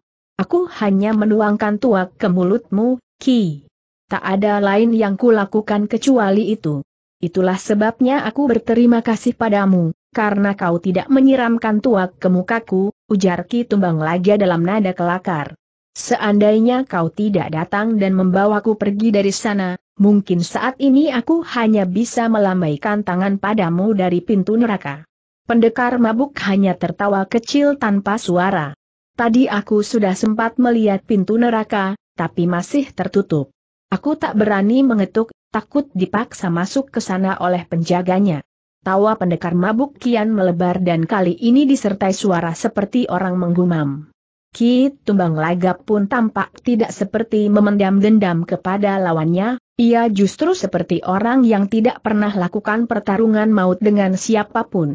Mengapa sampai terlibat bentrokan dengan setan rawa bangkai, Ki? Dari mana kau tahu kalau lawanku tadi adalah setan rawa bangkai? Ciri-cirinya kudengar dari penjelasan Nyai Kidung Laras. Oh, si cantik dari lembah hijau itu ujar Ki Tumbang Laga yang rupanya kenal dengan Nyai Kidung Laras. Tokoh tua itu manggut-manggut dalam senyumnya yang membuat wajahnya tampak lucu. Dia memang pernah bertemu dan beradu ilmu dengan Marundang, tapi ia hampir mati kalau tak segera larikan diri. Aku kenal baik dengannya. Dulu aku pernah naksir dia, tapi karena dia tidak naksir diriku, akhirnya aku terusir dari hatinya. Kasihan, ya? Siapa yang kasihan? Diriku ini jawabnya sambil tertawa kecil. Oh, ya, boleh aku minta tuakmu sedikit lagi, Suto? Mengapa tidak, Ki? Silakan minum sepuas hatimu. Tuaku masih tersedia cukup banyak, separuh bumbung lebih. Pendekar mabuk serahkan bumbung tuaknya, kemudian Ki Tumbang Laga menenggaknya beberapa teguk, ia menghembuskan napas kelegaan melalui mulutnya dan sempat bertahap panjang tanda kekenyangan minum tuak. Seroja putih, adiknya Kenanga Pilu, dibunuhnya saat Dewa Tengkorak menyerang perguruan tapak Dewa, ujarnya membuat Suto Sinting terkejut. Jadi Kenanga Pilu punya adik. Bernama Seroja Putih? Ki Tumbang Laga anggukan kepala dengan wajah duka sebentar. Kala itu aku dan kakakku, gurunya Seroja Putih, sedang tidak ada di tempat. Dewa Tengkorak dibantu Setan Rawa Bangkai lakukan pembantaian di perguruan tapak Dewa. Mengapa sampai terjadi begitu seroja putih pernah hampir membuat Dewa Tengkorak mati hangus. Rupanya dendam itu masih membekas di hati Dewa Tengkorak. Tanpa dukungan Setan Rawa Bangkai, Dewa Tengkorak tak akan berani menyerang perguruan tapak Dewa. Pendekar mabuk angguk-anggukan kepala. Agaknya kemunculan setan rawa bangkai benar-benar dimanfaatkan oleh Dewa Tengkorak untuk membalas dendam terhadap musuh-musuhnya, pikir Suto Sinting. Keganasan Dewa Tengkorak timbul secara liar karena merasa mendapat dukungan kuat dari setan rawa bangkai. Seandainya si setan rawa bangkai dapat dilenyapkan, maka Dewa Tengkorak akan kehilangan nyali dan tak berani bertindak seenak bodongnya begitu. Ki Tumbang Laga berkata dengan memandang ke arah lain, tentu saja sepak terjang Dewa Tengkorak disambut baik dan didukung penuh oleh setan rawa bangkai, sebab orang terkutuk berbau busuk itu memang kehendaki agar tokoh-tokoh aliran putih hancur semua. Ia ingin tampil sebagai tokoh tertinggi di rimba persilatan yang kelak akan mempunyai pengikut dalam jumlah banyak. Jika boleh kusimpulkan, kunci kekejaman Dewa Tengkorak itu terletak pada kesaktian setan rawa bangkai, ki titik. Benar. Sedangkan si setan rawa bangkai sendiri sebenarnya lebih kejam dan lebih ganas dari Dewa Tengkorak. Jika tokoh sesat itu tidak dilenyapkan dengan segera, maka dunia persilatan kita akan diselimuti kabut hitam. Setiap perguruan akan mengalami masa berkabung yang tiada habisnya. Jika begitu, Kusarankan agar Ki Tumbang Laga kembali menghadap Eyang Darah Guntur dan jangan pergi ke mana-mana. Serahkan persoalan ini padaku. Aku akan mengatasi kekejian setan rawa bangkai dan dewa tengkorak. Ki Tumbang Laga tertawa terkekeh-kekeh, membuat Suto Sinting memandang dengan berkerut dahi karena merasa heran. Rasa penasaran terhadap tawa itu membuat Suto Sinting akhirnya ajukan tanya. Mengapa kau menertawakan kata-kataku, Ki? Karena aku tak yakin bahwa kau bisa mengungguli ilmunya setan rawa bangkai. Orang itu bukan tandinganmu, nak. Satu-satunya orang yang bisa ungguli kesaktian setan rawa bangkai adalah gurumu sendiri, si Gelatuak. Tidak mungkin sergah pendekar mabuk. Guru tidak akan turun tangan lagi di rimba persilatan. Seandainya harus turun tangan lagi, maka aku adalah orang pertama yang akan mengawali pertarungan dengan setan rawa bangkai. Aku tak ingin bertumpang tangan sementara guru lakukan pertarungan dengan lawannya. Siapa pun yang menjadi musuh guru harus berhadapan denganku lebih dulu. Dan kau akan mati konyol di tangan setan rawa bangkai. Itu sudah menjadi bagian dari tanggung jawabku sahut Suto Sinting dengan tegas. Mati konyol ataupun mati tidak konyol bagiku sama saja. Jiwa kependekaranmu begitu kuat, kata Ki Tumbang Laga sambil menepuk-nepuk pundak pendekar mabuk. Kuakui nyalimu sangat besar, tak ubahnya seperti gurumu, si tua bangka dan bidadari jalang. Tetapi perlu diingat, Suto, melawan kekejian itu tidak harus dengan modal keberanian belaka otak pun harus ikut bekerja agar kita tidak mati konyol tapi kekejaman itu bisa tersingkirkan. Melawan orang seperti setan rawa bangkai tak perlu harus menggunakan siasat yang memeras otak, ki. Keberanian dan kecepatan gerak merupakan modal utama untuk tumbangkan setan rawa bangkai dan pengikutnya, seperti si dewa tengkorak itu. Ki tumbang laga manggut-manggut sambil tertawa terkekeh. Boleh, boleh, Kau boleh saja bilang begitu. Tapi percayalah, ilmu yang kau miliki belum cukup untuk melawan setan rawa bangkai, apalagi sekarang ia mempunyai ilmu sukma sakti dan cakar belah jagat yang berbahaya itu. kau harus punya ilmu tandingannya, Suto. Kau bisa memintanya dari gurumu, si Gelatuak dan Bidadari Jalang. Kurasa mereka punya ilmu tandingan tersebut. Tiba-tiba sebuah suara terdengar menyahut dari belakang mereka. Mereka tidak punya ilmu tandingan. Suto Sinting dan Ki Tumbang Laga sama-sama terkejut, keduanya sama-sama segera menengok ke belakang. Ternyata seseorang telah berdiri di sana dalam jarak lima langkah dari tempat mereka berdiri. Orang yang kini berhadapan dengan mereka itu mengenakan pakaian serba putih, jubah dan celana putih, sabuk putih, tanpa baju. Kulit wajahnya pucat dan tampak sekali ketuaannya, ia berusia sekitar 90 tahun, Rambutnya yang panjang acak-acakan itu berwarna putih rata.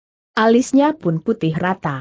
Matanya sedikit cekung, tanpa kumis dan jenggot. Tapi ia mempunyai kuku-kuku yang panjang. Saat melangkah tiga tindak, ia tampak tertatih-tatih. Tokoh tua serba putih ini dikenal Suto Sinting sebagai tokoh sakti dari Gunung Kemuning, ia mempunyai nama asli, Murdawira, tapi lebih dikenal dengan nama setan merakyat, bakal serial pendekar mabuk dalam episode Tabib Darah Tuak. Bapak Guru tanda seru sapa Suto Sinting, karena memang dari dulu Suto Sinting selalu memanggil dengan sebutan Bapak Guru. Hal itu dilakukan Suto sebagai penghormatan tinggi kepada tokoh sakti yang menjadi sahabat si Gelatuak. Tak heran jika Suto Sinting saat itu sedikit bungkukan badan sebagai tanda memberi hormat kepada setan merakyat. Bagaimana kabar Bapak Guru Murdawira? Aku sehat-sehat saja. Kalau aku tak sehat aku tak bisa mengikutimu sejak dari pantai sampai kemari, jawab setan merakyat dengan suara tuanya. Salam hormatku untuk kedatanganmu, Kakang Setan Merakyat Ki Tumbang Laga pun memberi salam dan hormat kepada tokoh serbab putih yang selalu berpenampilan kalem. Tumbang Laga, salam hormatmu ku terima. Tapi aku ikut berbelasungkawa atas kematian murid dari kakakmu, si darah guntur. Pendekar mabuk membatin, rupanya Bapak Guru Setan Merakyat ini yang selalu membelaku dalam pertarungan di pantai, dan dalam menghadapi Dewa Tengkorak, serta sampai saat aku menghadapi Setan Rawa Bangkai tadi. HMMM. Tak disangka dialah orangnya. Ki Tumbang Laga tak merasa heran lagi jika setan merakyat mengetahui kematian Seroja Putih, karena tokoh yang satu ini memang mempunyai ketajaman indera ketujuh cukup luar biasa. Namun Ki Tumbang Laga segera bicarakan tentang kemunculan setan rawa bangkai. Apakah kehadiranmu di sini ada hubungannya dengan kemunculan setan rawa bangkai? Bisa dikatakan ya dan tidak, jawab setan merakyat. Sekarang baru kuingat, kata Kit Tumbang Laga, bahwa ada orang lain yang dapat ungguli kehebatan ilmunya setan rawa bangkai, yaitu kau sendiri, Kakang Murdawira. Kau dan Marundang adalah tokoh berilmu tinggi yang sama-sama punya julukan setan, jadi kurasa. Tanda petik. Jadi maksudmu setan bertarung melawan setan, begitu Ki Tumbang Laga tertawa kecil sambil garuk-garuk kepala. Suto Sinting hanya tersenyum-senyum saja. Tetapi si setan merakyat hanya diam tanpa senyum, namun wajahnya tidak tampak tersinggung atau memendam kedongkolan. Setan merakyat justru tampak kalem bagai tak pedulikan ucapannya sendiri tadi. Kehadiranku memang ada hubungannya dengan kemunculan setan rawa bangkai. Tetapi aku tidak akan melawan dia, tumbang laga. Aku punya jago sendiri yang akan kuandalkan, yaitu pendekar mabuk, murid si gelatuak. Ki Tumbang Laga dan Suto Sinting sama-sama terperanjat. Keduanya saling beradu pandangan mata. Tetapi Ki Tumbang Laga segera berkata kepada setan merakyat. Apakah kau tidak salah pilih jago, Kakang Murdawira? Pendekar mabuk masih muda dan ilmunya. Tanda petik. Aku sudah bicarakan dengan si gila tuak dan bidadari jalang, sahut setan merakyat. Lalu, apa kata mereka desak Ki Tumbang Laga? Mereka setuju jika kita, para tokoh aliran putih, mengajukan pendekar mabuk sebagai lawan tandingnya si Marundang. Tetapi tentu saja aku berada di belakang pendekar mabuk. Apa maksudnya berada di belakang pendekar mabuk? Setan merakyat melangkah ke samping, memperhatikan serumpun tanaman liar yang sedang berbunga. Bunganya berwarna merah segar dan enak dipandang mata. Setan merakyat menghampirinya dan memetik sekuntum bunga yang mirip trompet kecil itu. Sambil memperhatikan bunga tersebut, setan merakyat bicara kepada pendekar mabuk. Suto, masih ingatkah kau pada pertemuan kita sebelum ini? Tentu saja masih, Bapak Guru, aku pernah mengatakan bahwa salah satu ilmuku yang akan kuturunkan padamu, dan ilmu itu tidak bisa kuturunkan kepada orang lain kecuali orang yang tanpa pusar.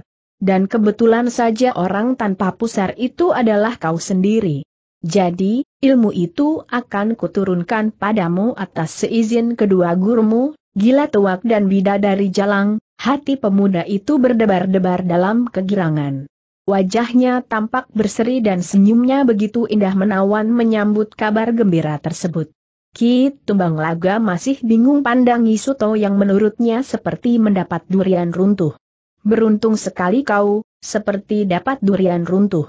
Tahu-tahu akan diberi ilmu dari tokoh sesakti beliau itu, Suto. Kalau aku masih muda, Tentunya aku iri dengan keberuntunganmu. Suto Sinting hanya tertawa pelan namun memanjang.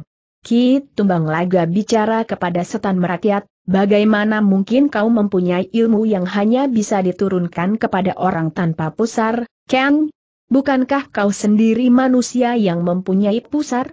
Coba kulihat dulu, setan merakyat segera menyingkapkan kain penutup perutnya. Oh, iya, aku sendiri punya pusar. Tapi, Suto Sinting jelas tak punya pusar. Kalau kau tak percaya, cobalah kau periksa sendiri dia. Bukan soal tak percaya tentang punya pusar atau tidak, tapi yang kuherankan adalah syarat penurunan ilmu itu. Mengapa hanya bisa diterima oleh orang yang tanpa pusar? Padahal kau sendiri sebagai pemilik ilmu itu mempunyai pusar? Tumbang laga, kata setan merakyat sambil jarinya memainkan bunga kecil yang diputar-putar dalam gerak memelintir. Titik. Ilmu itu adalah ilmu temuanku sendiri. Sebenarnya siapa saja bisa memiliki ilmu itu, namun harus melalui cara berlatih selama 30 tahun lebih. Karena ilmu itu kudapatkan setelah berlatih selama 30 tahun lebih dan sekarang tinggal diwariskan kepada seseorang, anggaplah orang itu adalah muridku. Tetapi selama ini ku coba memasukkan ilmu itu ke raga seseorang yang mempunyai pusar, ternyata tidak sedikit pun bagian dari kekuatan ilmu itu dapat masuk ke dalam raga orang tersebut. Pilihanku adalah seseorang yang tanpa pusar. Sebab dengan tanpa pusar maka ketahanan tubuh seseorang dapat menerima dengan kokoh kehadiran ilmu itu dalam sukma dan raganya. Ki Tumbang Laga manggut-manggut pertanda memahami maksud setan merakyat. Kejap berikutnya terdengar suara Suto Sinting yang tampak tak sabar lagi.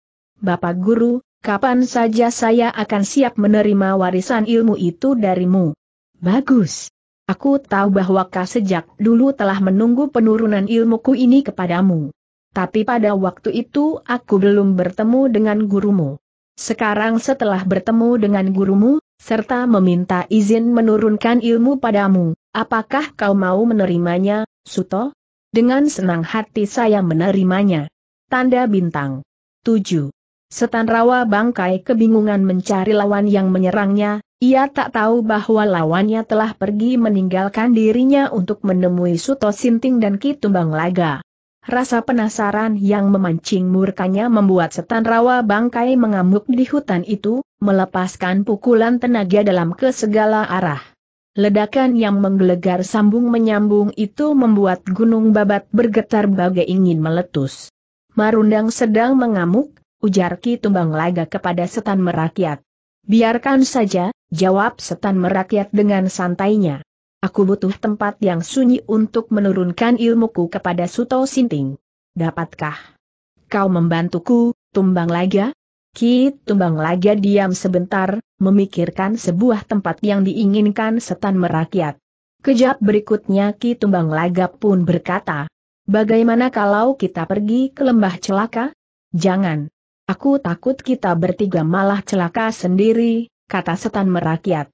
Bapak Guru, ujar Suto Sinting menyelap pembicaraan, mengapa kita tidak pergi ke Gunung Kemuning saja? Bukankah tempat kediaman Bapak Guru adalah tempat yang tenang dan sunyi? Oh, iya. Hampir saja aku lupa kalau aku punya tempat yang tenang dan sunyi di puncak kemuning, setan merakyat garuk-garuk kepala. Ki Tumbang Laga berkata kepada Suto Sinting, kalau tempat yang lebih sunyi dan tenang lagi ya masuk ke liang kubur saja. Setan merakyat menyahut, kalau kau masuk ke sana lebih dulu, silakan saja. Aku belum ingin ke sana, Tumbang Laga. Pendekar mabuk dan Ki Tumbang Laga sama-sama tertawa. Kemudian mereka bertiga bergegas pergi tinggalkan tempat itu menuju puncak Gunung Kemuning yang selalu diselimuti kabut tebal itu. Ki Tumbang Laga sebenarnya ingin pulang ke perguruan tapak dewa untuk menemui Eyang Darah Guntur, kakaknya. Tetapi niatnya dicegah setan merakyat. Aku butuh bantuanmu, Tumbang Laga. Ikutlah bersamaku ke puncak Kemuning. Soal menghadap kakakmu, biar nanti aku yang menjelaskan alasannya, mengapa kau ikut aku. Jangan takut kalau kakakmu marah, nanti aku yang akan meredakan amarahnya. Tentu saja setan merakyat berani bilang begitu, karena Eyang Darah Guntur sangat hormat kepadanya. Kesaktian setan merakyat lebih tinggi dari kesaktian Eyang Darah Guntur, sehingga Eyang Darah Guntur tak berani menentang segala keputusan setan merakyat. Pendekar mabuk merasa hari itu adalah hari keberuntungannya. Seandainya ia tidak nekat menentang larangan Pakis Ratu, mungkin ia tidak akan segera pergi ke puncak Gunung Kemuning. Seandainya ia tidak pergi secara diam-diam dari lembah hijau tanpa diketahui Pakis Ratu dan Nyai Kidung Laras, mungkin setan merakyat tidak segera muncul dan menurunkan ilmunya. Biarlah Pakis Ratu tinggal di pondok gurunya sendiri. Nanti jika urusanku sudah selesai akan ku hampiri lagi untuk pererat persahabatan, pikir Suto Sinting dalam perjalanan menuju puncak Gunung Kemuning. Sesuatu yang sangat tidak diduga-duga ternyata terjadi di pertengahan jalan. Mereka melihat pertarungan antara Dewa Tengkorak melawan seorang gadis cantik berusia 26 tahun, mengenakan jubah kuning dalaman merah. Rambutnya dikonde dua tempat, sisanya meriap ke bawah dengan gemulai. Gadis itu berwajah mungil, bermata bundar indah, dan berkulit kuning langsat, ia menggunakan seruling sebagai senjata yang dapat menyemburkan cahaya merah api ke tubuh lawannya. Gadis itu tak lain adalah Dinada, mantan orang Bukit Kasmaran, murid dari mendiang Nyai Guntur Ayu, bakal serial pendekar mabuk dalam episode Gelang Naga Dewa. Bapak Guru, saya kenal dengan gadis itu kata Suto Sinting. Mereka ada di ketinggian Bukit Cadas yang dapat melihat bebas ke arah bawah. Saya kenal sekali dengannya, Bapak Guru. Gadis mana yang tidak kau kenal? Semua gadis pasti kau kenal. Matamu memang metu keranjang, kata setan merakyat yang membuat Suto Sinting malu. Ingat, kau adalah calon jodohnya dia Sariningrum. Jangan sembarang melotot kalau melihat perempuan. Maksud saya, gadis itu adalah Dinada, sahabat saya, Bapak Guru. Bolehkah saya membantunya? Sebab menurut saya, Dinada bukan tandingannya Dewa Tengkorak. Ki Tumbang Laga menyahut, nyawa Dewa Tengkorak adalah jatahku. Jangan robot seenaknya saja, Suto. Aku yang akan menghadapi Dewa Tengkorak untuk bikin perhitungan. Tidak bisa. Dinada adalah sahabatku, Ki. Aku wajib membantunya. Sebab. Tanda petik. Dinada memang sahabatmu, tapi Dewa Tengkorak itu jatahku sahut Kit Tumbang Laga agak ngotot. Setan merakyat akhirnya berkata, apa yang kalian perebutkan? Nyawa si Dewa Tengkorak. HMM. Klaap. Tiba-tiba jari tangan setan merakyat menunjuk ke depan. Dari jari itu melesat seberkas sinar putih perak bagaikan cahaya bintang. Sinar kecil itu menghantam dada Dewa Tengkorak pada saat si Dewa Tengkorak sedang lakukan lompatan untuk menerjang di nada yang sempoyongan terkena pukulannya. Zeep! Sinar itu menghantam dada Dewa Tengkorak dengan jelas sekali.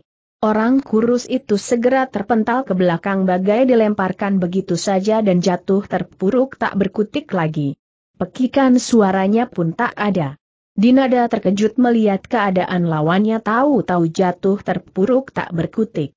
Lebih terkejut lagi melihat lawannya berasap, semakin lama semakin tebal, dan ketika angin berhembus asap pun pudar. Oh tanda seru Dinada semakin melebarkan matanya karena terkejut melihat tubuh Dewa Tengkorak benar-benar menjadi tengkorak berjubah abu-abu dan bercelana merah. Ajaib sekali. Mengapa dia tiba-tiba tinggal tulang belulang tanpa rambut dan tanpa daging sedikit pun? Oh, Siapa orang yang telah membantuku dalam pertarungan ini Dinada segera lemparkan pandangan matanya ke atas perbukitan, ia terperanjat lagi melihat tiga orang berdiri di sana, satu di antaranya adalah pemuda tampan yang dikenalnya dengan nama Suto Sinting. Oh, oh, oh ternyata si pendekar mabuk itu yang telah menolongku pikir Dinada.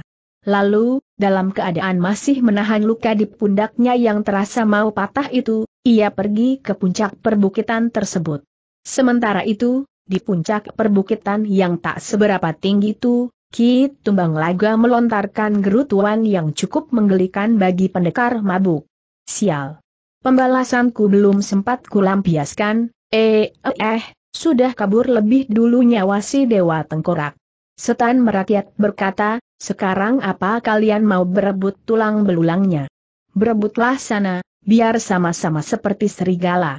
Suto Sinting hanya tertawa pendek dan berkata, mengapa waktu Dewa Tengkorak melawanku, Bapak Guru tidak lakukan hal seperti tadi? Dewa Tengkorak masih punya jatah untuk hidup setengah hari lagi dari sananya. Jadi aku tak berani mendahului kehendak sang takdir. Sekarang jatah untuk hidup baginya sudah habis, maka aku berani melepaskan jurus pencabut nyawa. HMM, mentang-mentang yang bisa mengetahui takdir manusia Ki Tumbang Laga bersungut-sungut dengan dongkol, Suto Sinting menertawakan sampai datangnya dinada ke tempat itu. Suto, terima kasih atas pertolonganmu. Kalau kau tidak segera bertindak, mungkin aku sudah mati di tangan Dewa Tengkorak. Aku sudah hampir tak berdaya menghadapi serangannya yang serba cepat tadi. Suto Sinting jadi tak enak hati. Matanya melirik ke arah setan merakyat. Ternyata tokoh sakti itu sedang bicara kepada Ki Tumbang Laga dengan suara seperti orang menggumam. Jadi anak muda itu enak, ya? Selalu menjadi bahan pujaan para gadis. Walaupun tidak lakukan apa-apa, tetap saja dianggap sebagai orang berjasa. Kita dulu juga pernah muda dan pernah mengalami hal seperti itu, kan?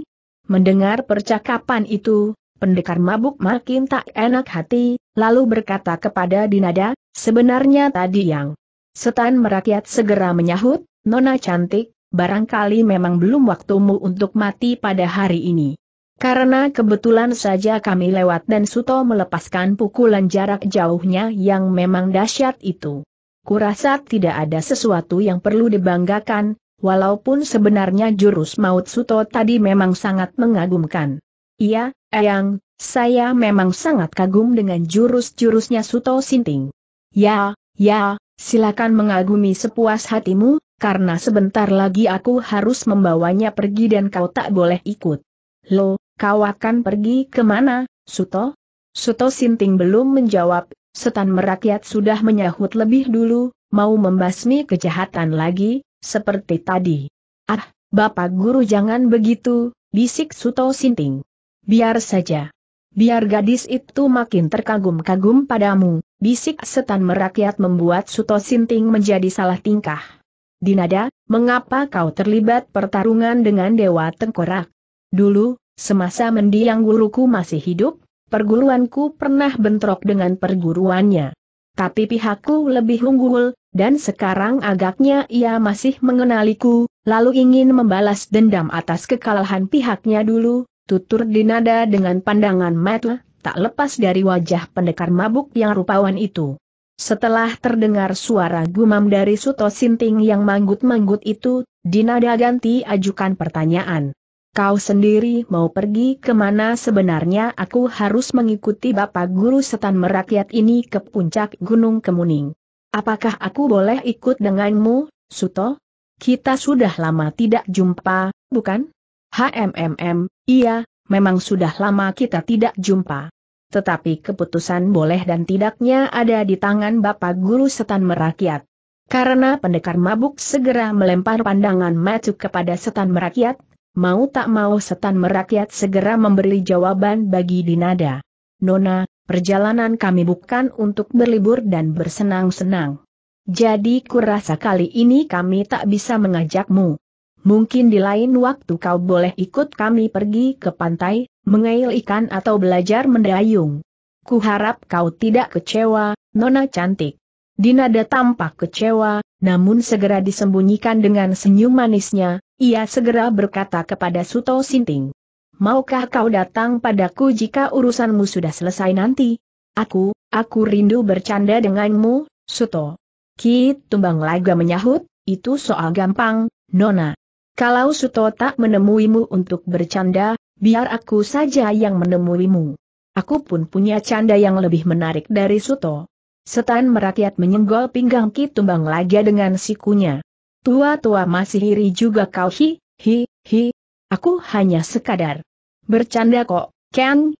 Pendekar mabuk tersenyum geli, kemudian berkata kepada Dinada, jika sudah selesai urusanku, aku akan menemuimu secepatnya Dinada. Maaf, sekarang aku tak bisa mengajakmu pergi karena Bapak Guru tidak izinkan siapa pun ikut kecuali hanya kami bertiga. Gadis cantik itu mencoba untuk memahami keadaan Suto Sinting, Wai Au sebenarnya ia ingin tahu persoalan sebenarnya dan Suto tak mau menceritakan, tetapi ia tetap mencoba untuk tidak penasaran. Rasa kecewanya dipendam dalam-dalam bersama lambaian tangan mengiringi kepergian Suto Sinting bersama dua tokoh tua itu. Perjalanan menuju puncak Gunung Kemuning terpaksa dilakukan dengan menggunakan jurus peringan tubuh yang membuat mereka berkelebat bagaikan badai. Ternyata jurus gerak silumannya Suto Sinting mampu menyamai jurus serupa yang dimiliki oleh setan merakyat. Sedangkan gerakan Ki Tumbang Laga tertinggal tak seberapa jauh di belakang mereka. Ki Tumbang Laga tak sampai kehilangan jejak, sehingga ketika mereka tiba di puncak Gunung Kemuning, Ki Tumbang Laga menyusul beberapa saat kemudian. Puncak gunung itu cukup dingin.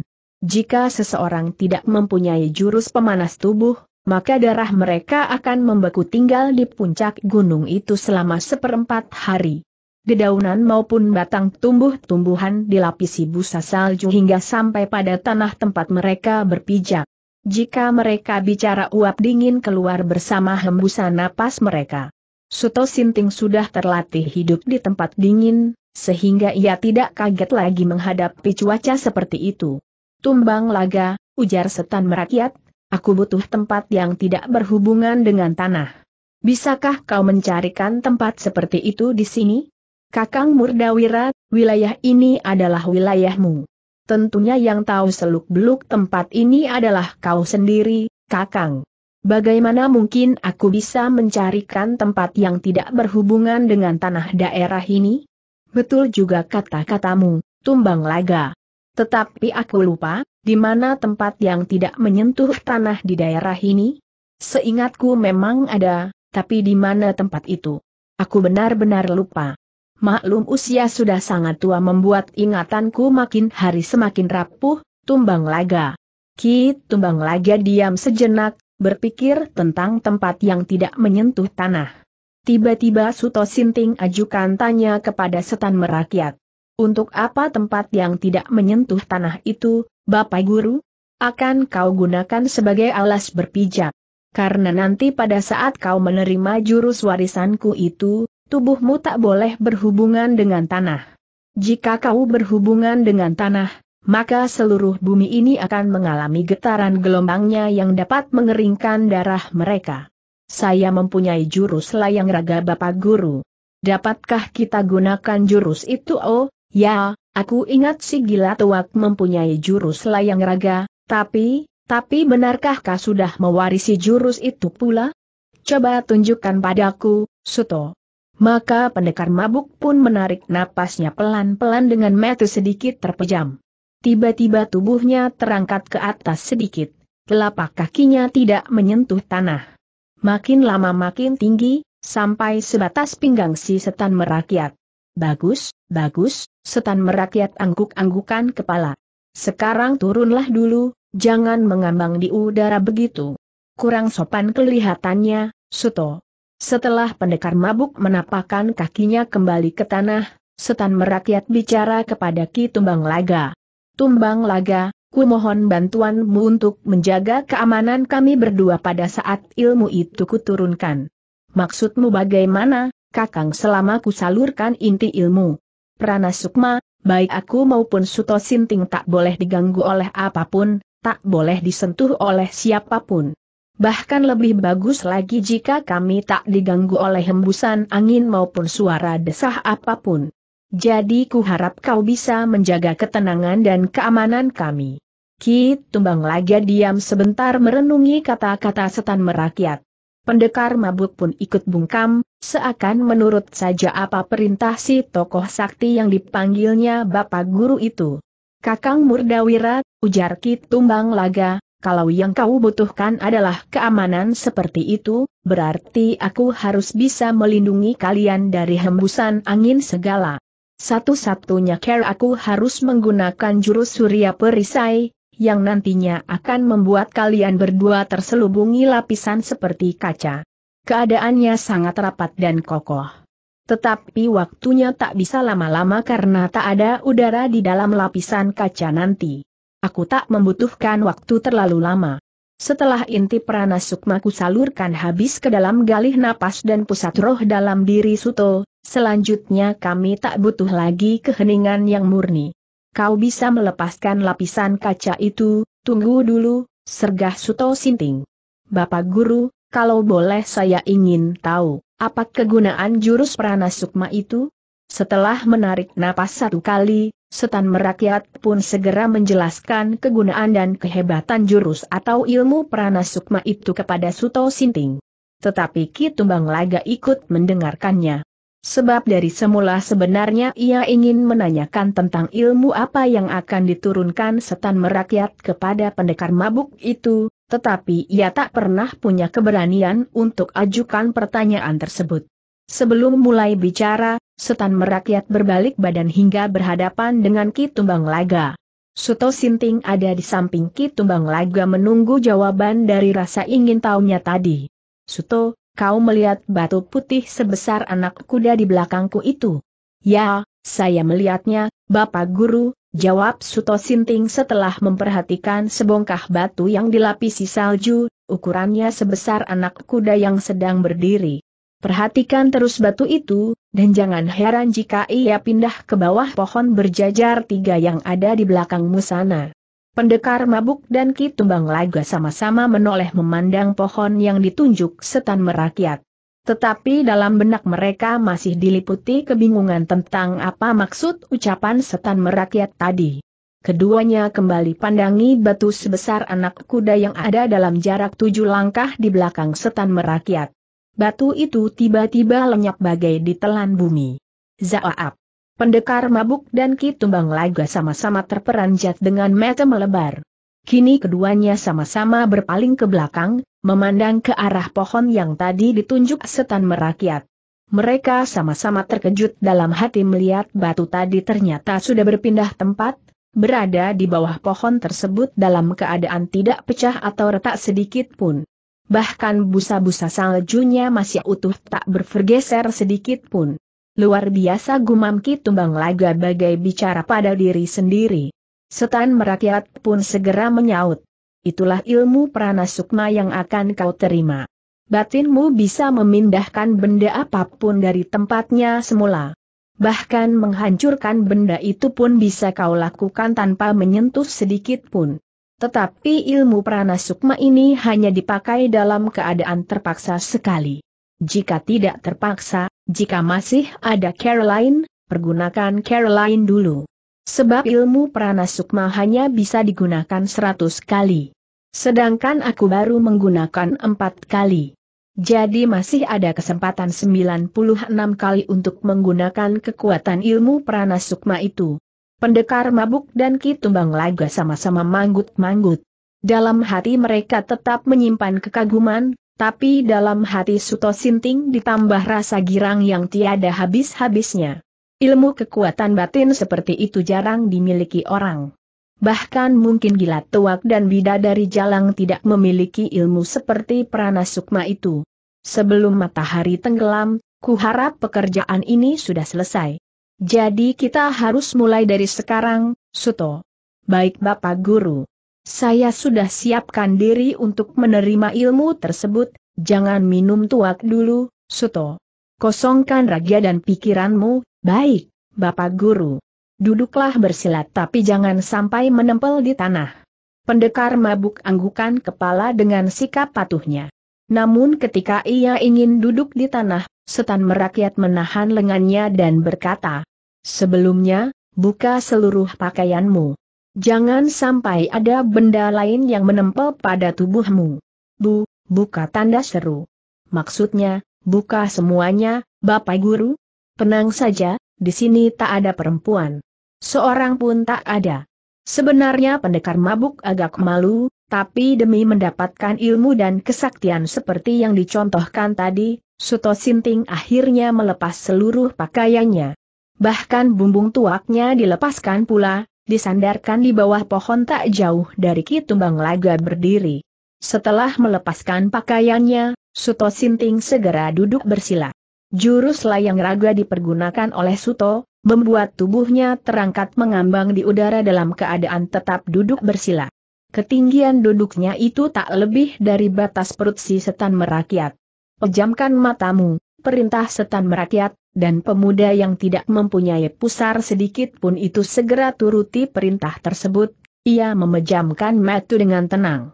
Pusatkan perhatian benak pada gerakan napasmu, perintah si setan merakyat. Selama belum selesai jangan bicara apa-apa dulu. Baik, Bapak Guru. Tumbang laga, lakukan seperti yang ku perintahkan tadi. Baik, Kakang jawab Ki Tumbang Laga dengan tegas dan patuh. Kedua jari tengah Ki Tumbang Laga sama-sama berdiri mengeras. Kemudian ujung-ujung jari tengah itu dipertemukan di depan dada, Lama-kelamaan kedua tangan yang saling bertemu itu bergerak pelan ke atas, hingga kini keberadaannya melebihi ketinggian kepala si tumbang laga. Klaap. Wuurs. Pertemuan dua jari tengah itu akhirnya memancarkan sinar merah bening. Sinar itu meluncur ke atas dan berhenti di atas kepala Suto Sinting dan setan merakyat. Sinar merah itu akhirnya menyebar ke bawah dalam keadaan melebar, sehingga tubuh Suto Sinting dan setan merakyat dilapisi oleh cahaya merah yang turun dari atas kepala mereka itu. Lama-kelamaan cahaya merah itu menjadi bening, membentuk seperti kurungan besar, dan warna merahnya pun punah menjadi warna putih yang kian lama menjadi kian bening. Sinar merah di atas kepala mereka telah lenyap. Kedua tubuh mereka menjadi seperti berada dalam tabung berkaca putih bening. Pada saat itulah tubuh setan merakyat pun terangkat naik dengan sendirinya dan mengambang di udara, sama seperti yang dilakukan Suto Sinting, ia segera keraskan kedua jari pada tiang tangannya. Klas, kelas. Dari masing-masing kedua jari keluar sinar ungu bening. Satu sinar ungu mengarah pada perut Suto Sinting tempat biasanya seseorang berpusar. Satu sinar ungu lagi mengarah pada ulu hati Suto Sinting. Kedua sinar ungu itu membuat tubuh Suto Sinting menjadi menyala ungu bening bagai terbuat dari beling kristal ungu. Tubuh tersebut dia mengejang kaku bagaikan patung. Zuup, zuup. Kedua sinar ungu itu pun segera padam setelah lebih dari 20 laan napas memancar ke tubuh Suto Sinting. Tapi sayang mereka yang ada di dalam tabung kaca itu tidak bernapas, sehingga tidak bisa menghitung berapa helaan lamanya kedua sinar ungu itu terpancar dari kedua tangan setan merakyat. Tetapi walaupun kedua sinar ungu itu telah padam dari ujung jari setan merakyat, keadaan Suto Sinting masih seperti patung dari batuan bening warna ungu. Tubuh tersebut tetap mengambang di udara dan tidak bergerak sedikit pun. Setan merakyat memberikan isyarat kepada Ki Tumbang Laga agar melepaskan jurus surya perisai yang menyelubunginya. Ki Tumbang Laga yang sejak tadi menempelkan kedua jari tengahnya di atas kepala itu segera bergerak mundur satu langkah, kemudian telapak tangannya dihentakkan ke depan. Selarik sinar merah menghantam lapisan dinding kaca tersebut. Klaap. Piaar. Lapisan dinding kaca itu hancur seketika dihantam sinar merah dari telapak tangan. Tetapi sisa kehancuran itu tidak berserakan di tanah. tak satu pun terlihat pecahan beling tergeletak di tanah. Pecahan beling itu bagaikan lenyap begitu hendak menyentuh tanah. Setan merakyat menghirup udara segar panjang-panjang. Tetapi keadaan Suto Sinting tetap menjadi patung ungu bening dalam keadaan mengambang di udara. Ki Tumbang Laga memandang dengan heran, kemudian ketika setan merakyat mendekatinya untuk memandang Suto Sinting dari jarak tujuh langkah, Ki Tumbang Laga pun segera ajukan tanya bernada cemas. Mengapa ia masih dalam keadaan seperti patung batu bening begitu, Kakang? Peresapan dari cahaya sakti pranasukma membutuhkan waktu beberapa saat lamanya. Tapi usaha ini termasuk cepat dan lancar. Aku yakin jika bukan Suto Sinting yang menerima cahaya sakti itu, tubuhnya akan pecah menjadi serpihan-serpihan daging yang layak dijadikan sate. Lalu, sampai berapa lama ia akan menjadi seperti patung bening begitu, Kakang? Tergantung kekuatan tubuhnya. Bisa tujuh hari, bisa empat belas hari lamanya. Dan selama itu ia tak boleh disentuh oleh siapa pun, kecuali oleh angin.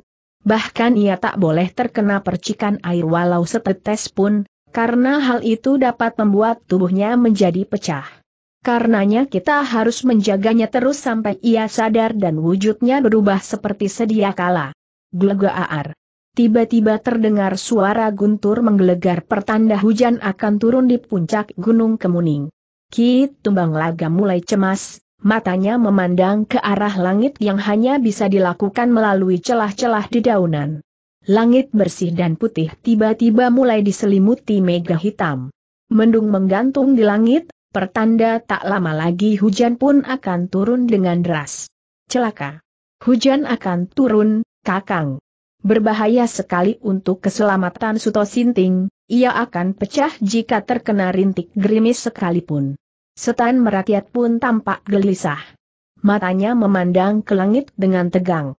Tetapi ia segera berkata kepada Ki Tumbang Laga. Bantu aku menolak hujan, Tumbang Laga. Aduh, Maaf sekali, Kakang. Sungguh aku tak bisa lakukan hal itu. Aku belum pernah menjadi pawang hujan. Bantulah dengan sebisa-bisamu setan merakyat agak membentak. Tanda bintang. 8. Embun pagi belum sempat kering sudah harus digenangi oleh darah korban ilmu sukma sakti yang cukup ganas itu. Kali ini korban ilmu Sukma Sakti adalah seorang gadis berusia sekitar 25 tahun yang mengenakan pinjung penutup dada warna merah dengan celana sebetis dibungkus kain putih. Gadis itu mengenakan rompi panjang berwarna kuning emas, rambutnya dikuncir tinggi sisanya berjuntai seperti ekor kuda. Gadis itu adalah Syair Kusumi, murid dari Nini Kalong, si penjaga hutan rawa kotek. Kepala gadis itu pecah ketika tiba-tiba tubuhnya terbanting membentur dinding tebing karena kekuatan ilmu sukma saktinya si setan rawa bangkai. Rupanya pertarungan Syair Kusumi dengan setan rawa bangkai terjadi di ujung pagi, ketika Syair Kusumi dalam perjalanan pulang dari suatu tempat menuju kediaman gurunya di hutan rawa kotek. Ia kepergok setan rawa bangkai yang menaruh dendam kepada Nini Kalong karena persoalan masa muda mereka. Mengetahui Syair Kusumi adalah murid pertama dari Nini Kalong, maka Setan Rawa Bangkai pun segera menyerangnya. Syair Kusumi mencoba lakukan perlawanan dengan jurus pedang gangsing, yaitu kibasan pedang beruntun yang timbulkan dengung yang biasanya bisa bikin darah lawan munkrat dari lubang-lubang di bagian kepalanya. Tetapi kali ini jurus pedang gangsing tidak mempan bagi setan rawa bangkai. Justru syair kusumi yang dibanting ke sana sini sampai akhirnya dibenturkan dinding tebing dengan keras dan kepala pun pecah tak berbentuk lagi. Pertarungan itu dilihat oleh seseorang dari tempat yang tersembunyi. Orang tersebut mengenal syair kusumi sebagai murid Nini Kalong. Tetapi orang itu tidak berani bertindak lakukan pembelaan, sebab ia hanya mempunyai ilmu pas-pasan. Karenanya, ia hanya segera larikan diri ke arah hutan rawa kotek yang tak jauh dari tempat pertarungan tersebut. Lelaki berusia sekitar 40 tahun, berambut pendek, ikat kepala berwarna putih, ia mengenakan baju hijau tua yang membungkus badannya yang kurus dan agak pendek, ia tak lain adalah Kadal Ginting, pelayannya Resi Pakar Pantun. Sebenarnya Kadal Ginting tidak bermaksud memergoki pertarungan tersebut, ia diutus oleh Resi Pakar Pantun untuk mencari Kertapaksi, murid Resi Pakar Pantun, dan mengingatkan agar menghindari bentrokan dengan tokoh yang berjuluk Setan Rawa Bangkai. Sebab Sang Resi khawatir jika muridnya yang mudah terpancing kemarahan itu akan berhadapan dengan Setan Rawa Bangkai, dan tentu saja Setan Rawa Bangkai bukan tandingannya Kertapaksi. Dalam perjalanan mencari Kertapaksi itulah, Kadal Ginting melihat pertarungan Syair Kusumi dengan Setan Rawa Bangkai, sehingga ia sempatkan diri untuk mengabarkan hal itu kepada Nini Kalong. Kadal buntung geram Nini Kalong. Apa maksudmu pagi-pagi begini membangunkan tidurku, hah? Bocah tak tahu sopan. Begitukah ajaran dari tuanmu, si pakar pantun? Sabar, Nini, Kumohon simpanlah dulu omelanmu. Tidak bisa. Aku harus ngomet karena kau mengganggu tidurku. Biasanya aku bangun bila matahari sudah di tengah langit, tapi sekarang matahari baru menggeliat tapi aku harus sudah terbangun oleh seruanmu yang urakan itu. Dasar kadal kurang kerjaan. Nini, aku membawa berita penting untukmu. Berita tentang kematian. Tanda petik. Kematian siapa? si pakar pantun tuanmu itu. Aku tak pedulikan dia lagi, kadal dia mau mati atau hidup, atau mau setengah mati setengah hidup, itu urusannya. Dia sudah cukup tua, sudah pasti bisa membedakan mana yang lebih enak, hidup atau mati. Kadal Ginting menarik napas menahan kejengkelan. Tapi Nini Kalong segera berkata lagi dengan sisa berangnya. Kenapa dia mati? Bunuh diri atau keracunan pantun? Bukan Eyang Rsi yang meninggal, Nini sergah kadal ginting dengan jengkel. Lalu, siapa yang meninggal jika bukan dia? Sebab menurutku sudah waktunya dia meninggal, mengapa masih ngotot hidup terus? Siapa yang mati maksudmu? Muridmu sendiri, si Syair Kusumi. Apa tanda seru Nini Kalong terpekik dengan mati melotot? Kadal ginting takut hingga mundur dua langkah. Jangan bicara seenak mulutmu yang bau comberan itu, kadal genting. Bisa kurobek mulutmu menjadi delapan lembar kalau kau bicara seenaknya di depanku. Ah, aku, aku tidak, tidak bohong, Nini, kadal ginting gugup sekali sambil pegangi mulutnya yang takut dirobek menjadi delapan lembar itu. Ah, aku melihat sendiri. Melihat dengan metu kepala sendiri, bukan dengan metu kaki. Syair kusumi kepalanya pecah dibenturkan dinding tebing oleh, oleh. Tanda petik. Oleh siapa bentak Nini Kalong dengan berangnya? Oleh. Setan. Setan rawa bangkai. Keparat. Maksudmu si Marundang yang membunuh muridku itu, hah? Kadal Ginting menganggukkan kepala dengan perasaan takut sambil melangkah mundur karena Nini Kalong maju mendekatinya. Wajah perempuan kurus bermata cekung itu menjadi menyeramkan. Rambutnya yang putih meriap membuat wajahnya tampak semakin nangker. Ketika menggeram penuh kemarahan, perempuan tua berusia sekitar 90 tahun itu mengeluarkan asap dari hidungnya. Asap tipis tersebut adalah lambang kemurkaan darahnya yang menjadi mendidih mendengar kematian murid pertamanya. Di mana dia sekarang? Terakhir kali kulihat dia dia. Di, di sekitar tanah tebing tebas, jawab Kadal Ginting dengan grogi. Blaas. Tanpa diduga-duga, Nini Kalong melesat pergi dengan kecepatan tinggi, nyaris menabrak tubuh kadal genting. Untung lelaki bernyali ciut itu segera menghindar ke kiri, jika tidak pasti akan terpental diterjang lompatan Nini Kalong. Sekalipun dia sudah menghindar, tetap saja tubuhnya jatuh terpelanting ke belakang karena hembusan angin kepergian Nini Kalong. Dalam beberapa kejap saja, Nini Kalong sudah sampai di tanah tebing tebas, ia buktikan dengan mata kepala sendiri salah seorang dari keempat muridnya itu telah tak bernyawa dalam keadaan kepala hancur nyaris tak berbentuk lagi. Darah perempuan tua itu makin mendidih, kulit wajahnya kian memerah. Keparat geramnya penuh murka. Lalu ia berseru. Di mana kau, manusia bangka AII jelega aar? Sebuah pukulan tenaga dalam dilepaskan sebagai pelampiasan dari murkanya. Pukulan itu menghantam dinding tebing dan menimbulkan ledakan cukup keras, hingga menggema ke mana-mana bersama reruntuhan batu dinding yang hancur sebagian itu. Blaas. Nini Kalong pergi tinggalkan mayat muridnya demi memburu dendam yang telah dibakar murka, ia menggunakan getaran batin untuk menemukan di mana setan rawa bangkai berada saat itu. Ternyata pencarian tersebut sampai mendekati tengah hari bolong belum juga berhasil. Nini Kalong tak tahu kalau setan rawa bangkai kala itu sedang berhadapan dengan seorang lawan yang sengaja mencarinya juga.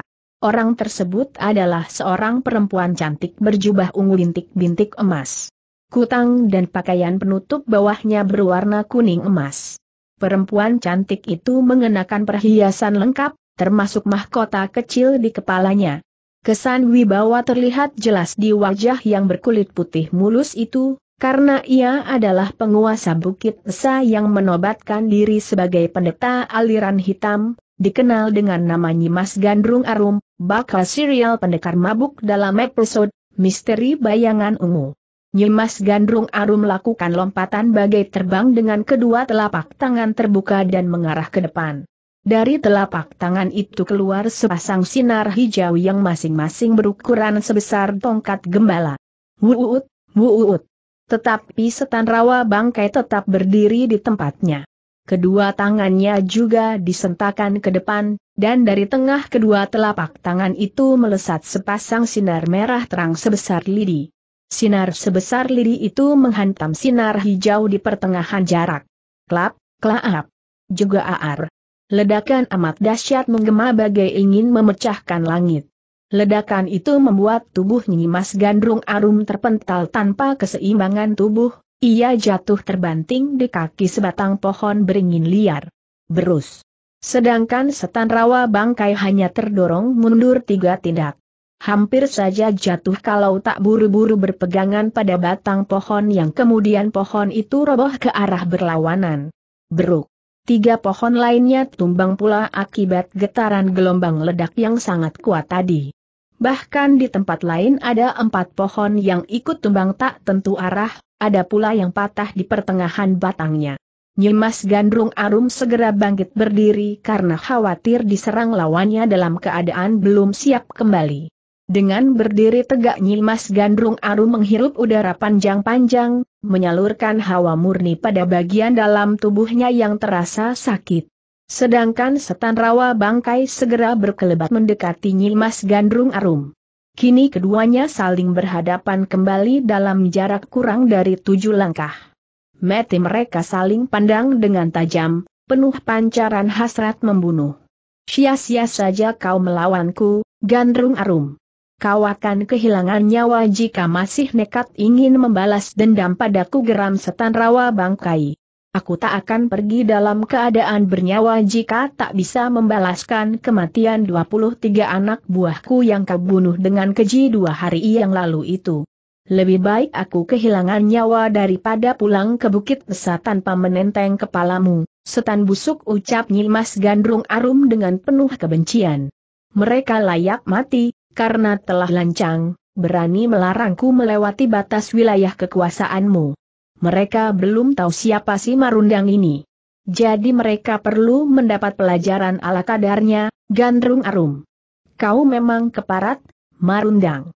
Seenaknya saja bicara dan bertindak, maka aku pun akan memperlakukan hal yang sama terhadap dirimu, Marundang Bluuk. Tiba-tiba Nyimas Gandrung Arum memukul dadanya sendiri.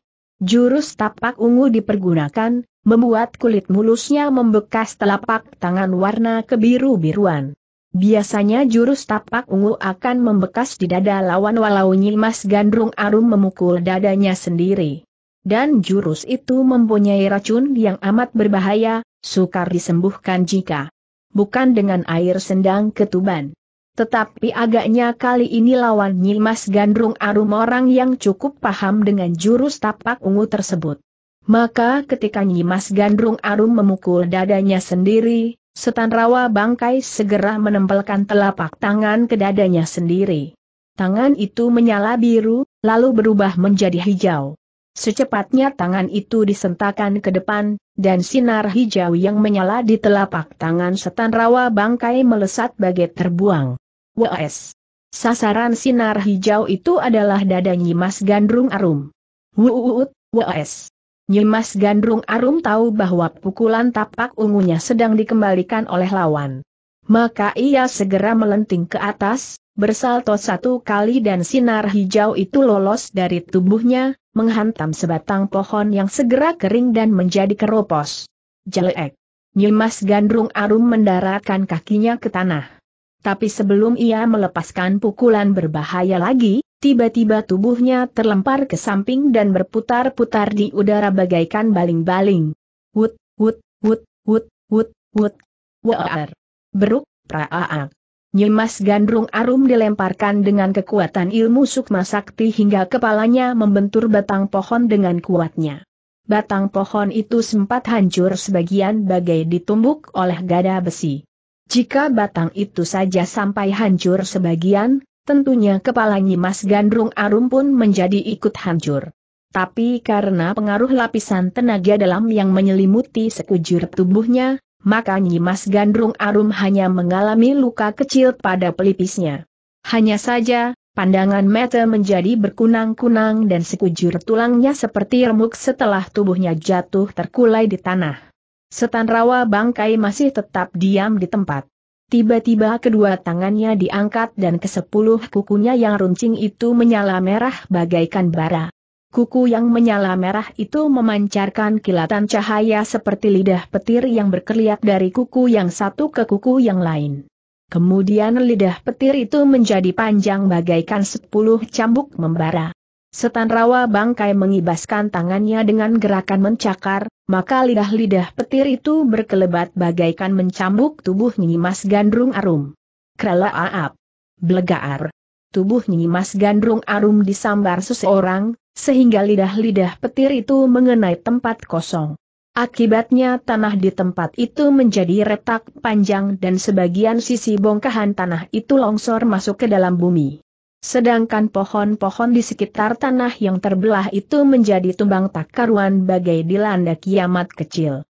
Itulah kedahsyatan jurus cakar belah jagat yang menjadi jurus andalan nomor dua bagi setan rawa bangkai. Sosok bayangan hitam yang menyambar tubuh Nyimas Gandrung Arum itu ternyata adalah sosok tua berambut putih, yang tak lain adalah Nini Kalong.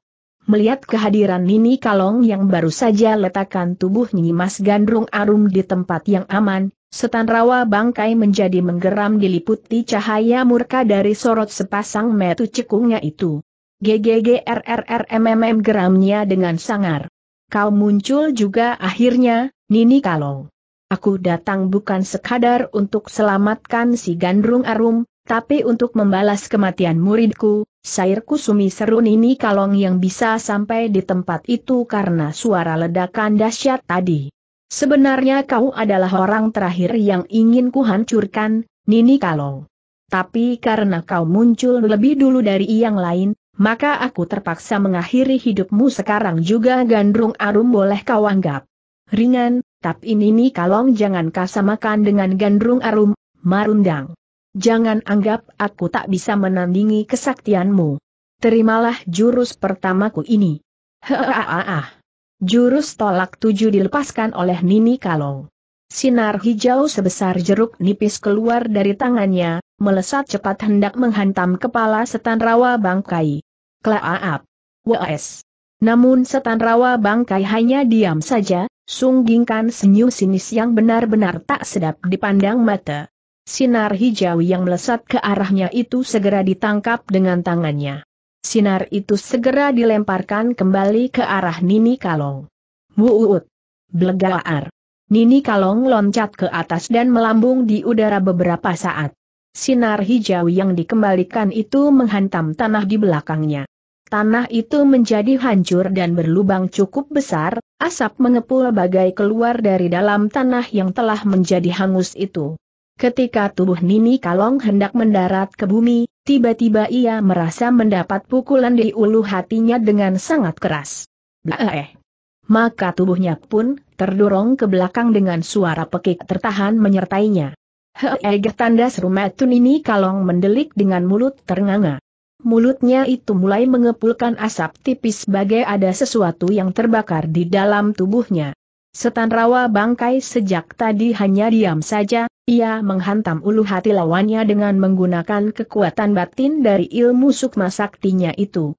Tentu saja Nini Kalong tak bisa menghindar atau menangkis karena tak dapat melihat datangnya pukulan tersebut. Wajah Nini Kalong mulai membiru agak kemerah-merahan, sepertinya sekujur kepala itu menjadi bisul yang amat menyakitkan. Sekalipun demikian, Nini Kalong masih memaksakan diri untuk bangkit dan lakukan penyerangan kembali. Sedangkan setan rawa bangkai mulai mengangkat tangannya yang berjari keras membentuk cakar. Kilatan cahaya merah berkerilap dari kuku-kuku hitamnya. Begitu tangan dikibaskan bagai mencakar udara kosong di depannya, sinar merah yang menyerupai lidah petir itu berkerilap menyambar tubuh Nini Kalong. Jurus cakar belah jagat digunakan lagi untuk hancurkan tubuh Nini Kalong. Dalam keadaan sempoyongan sambil menahan rasa sakit, Nini Kalong tak mampu hindari lima sinar merah itu. Tetapi tiba-tiba sekelebat sinar biru besar memotong jalannya lima sinar merah tersebut. Akibatnya kelima sinar merah yang mirip cambuk lidah petir itu menghantam sinar biru besar tersebut. Blegaar. Glear. Tanah berguncang walau tak sempat retak terbelah seperti tadi. Pepohonan ikut bergetar dan sebagian dahan ada yang patah akibat gelombang ledakan yang menghentak kuat itu. Setan rawa bangkai sendiri terpental ke belakang dan jatuh berguling satu kali, lalu cepat sentakan tangan ke bumi dan tubuhnya melambung ke atas dengan ringannya. Muus! Jelek! Ketika ia menapakkan kakinya ke tanah, wajahnya tampak terkejut karena ternyata di tempat itu sudah hadir tokoh lain.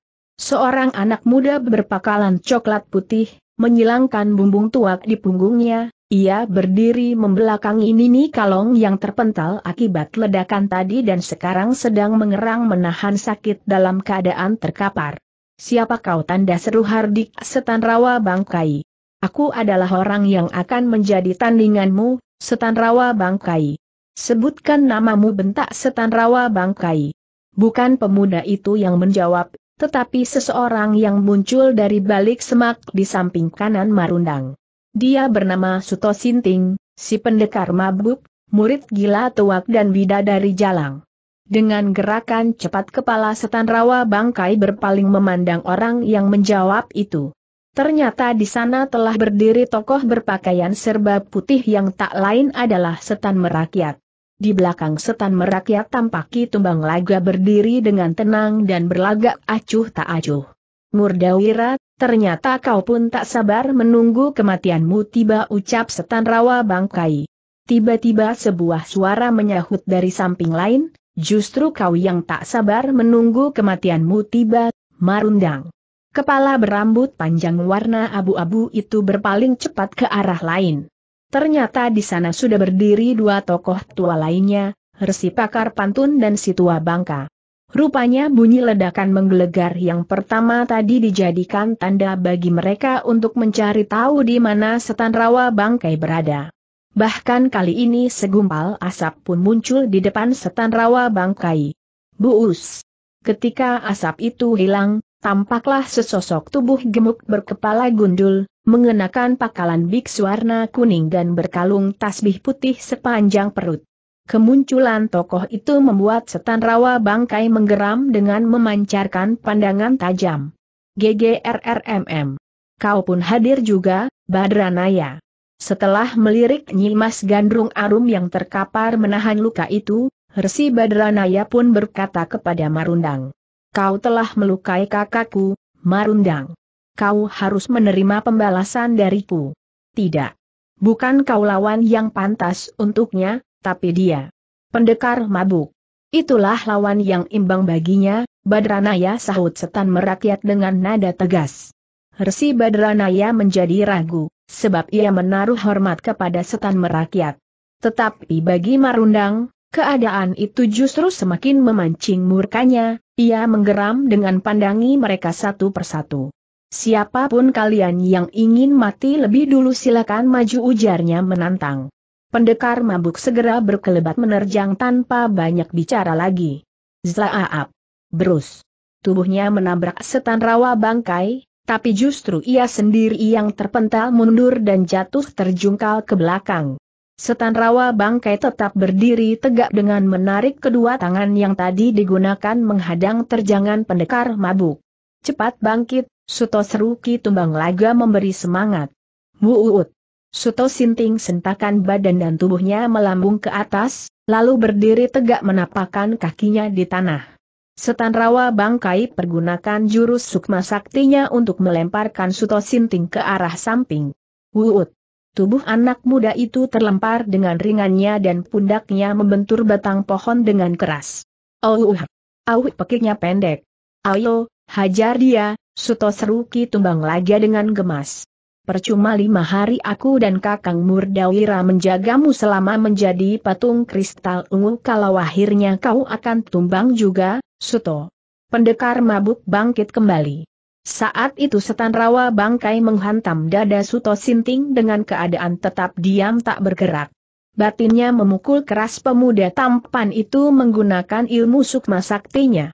Tetapi Suto Sinting cepat-cepat pergunakan jurus prana sukma untuk menahan gelombang naluri yang menghantamnya. Zaid. Pukulan keras itu tertahan di pertengahan jarak. Setan rawa bangkai terperanjat karena merasakan pukulan batinnya ditahan oleh suatu kekuatan yang sukar dikalahkan. B. Eh. Setan rawa bangkai terjengkang ke belakang sendiri. Pukulan batinnya bagaikan membalik arah mengenai dirinya. Suto Sinting berdiri tak bergerak memandangi lawannya. Tiba-tiba lawannya terlempar ke atas dan membentur dahan pohon besar. Bruk. Kerak. Dahan itu patah akibat benturan keras kepala setan rawa bangkai. Wuut. Berak. Wuus. Praak. Setan rawa bangkai dilempar-lemparkan oleh kekuatan pranasukmanya Suto Sinting. Tubuh kurus kering itu dibanting-banting lebih dari sepuluh kali, hingga tulang-tulangnya menjadi patah. Walau memekik berkali-kali, tapi Suto Sinting tetap membanting-banting tubuh itu dengan jurus pranasukmanya. Ah-ah setan rawa bangkai memekik panjang ketika tubuhnya melayang ke arah Suto Sinting. Tangan Suto berkelebat menyambar bumbung tuak, dan bumbung tuak itu segera dihantamkan ke tubuh yang melayang itu. Wuut, praak. Dua ar. Hantaman bumbung tuak itu timbulkan ledakan cukup keras. Ternyata ledakan itulah yang mengakhiri riwayat hidup setan rawa bangkai. Tubuh kurus itu terkulai di tanah dalam keadaan seluruh tulangnya patah, dan tentu saja nyawanya pun melayang bersama kepulan asap pada pinggangnya yang terhantam bumbung tuak tersebut. Beberapa tokoh tua menampakkan kelegaannya, Sebagian ada yang bertepuk tangan pelan sebagai tanda pujian bagi Seng Pendekar Mabuk. Kuhitung sudah 17 kali kau menggunakan jurus pranasukma tadi. Ingat-ingatlah sisanya, jangan sampai kau kehabisan kekuatan pranasukma itu, Suto, ujar setan merakyat sambil menepuk-nepuk pundak Suto Sinting. Setelah saya pikir-pikir, sebenarnya Bapak Guru bisa lakukan sendiri perlawanan seperti tadi, karena Bapak Guru memiliki ilmu pranasukma. Tapi mengapa justru Bapak Guru turunkan kepada saya ilmu itu, sehingga sayalah yang melawan kekuatan si setan rawa bangkai itu?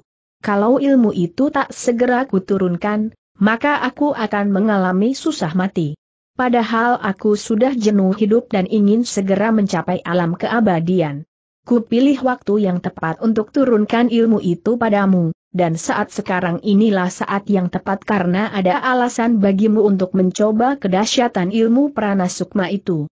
Resi pakar pantun sibuk menolong Nini Kalong, karena perempuan tua itu memang bekas kekasihnya. Resi Badranaya sibuk menolong Nyimas Gandrung Arum yang sebenarnya adalah kakaknya sendiri. Tapi semua pertolongan mereka sia-sia. Hanya tua Suto yang bisa sembuhkan segala luka pada tubuh kedua perempuan itu. Selesai sembuhkan mereka, Suto Sinting segera dibawa menghadap Gelatuak bersama-sama para tokoh tua itu.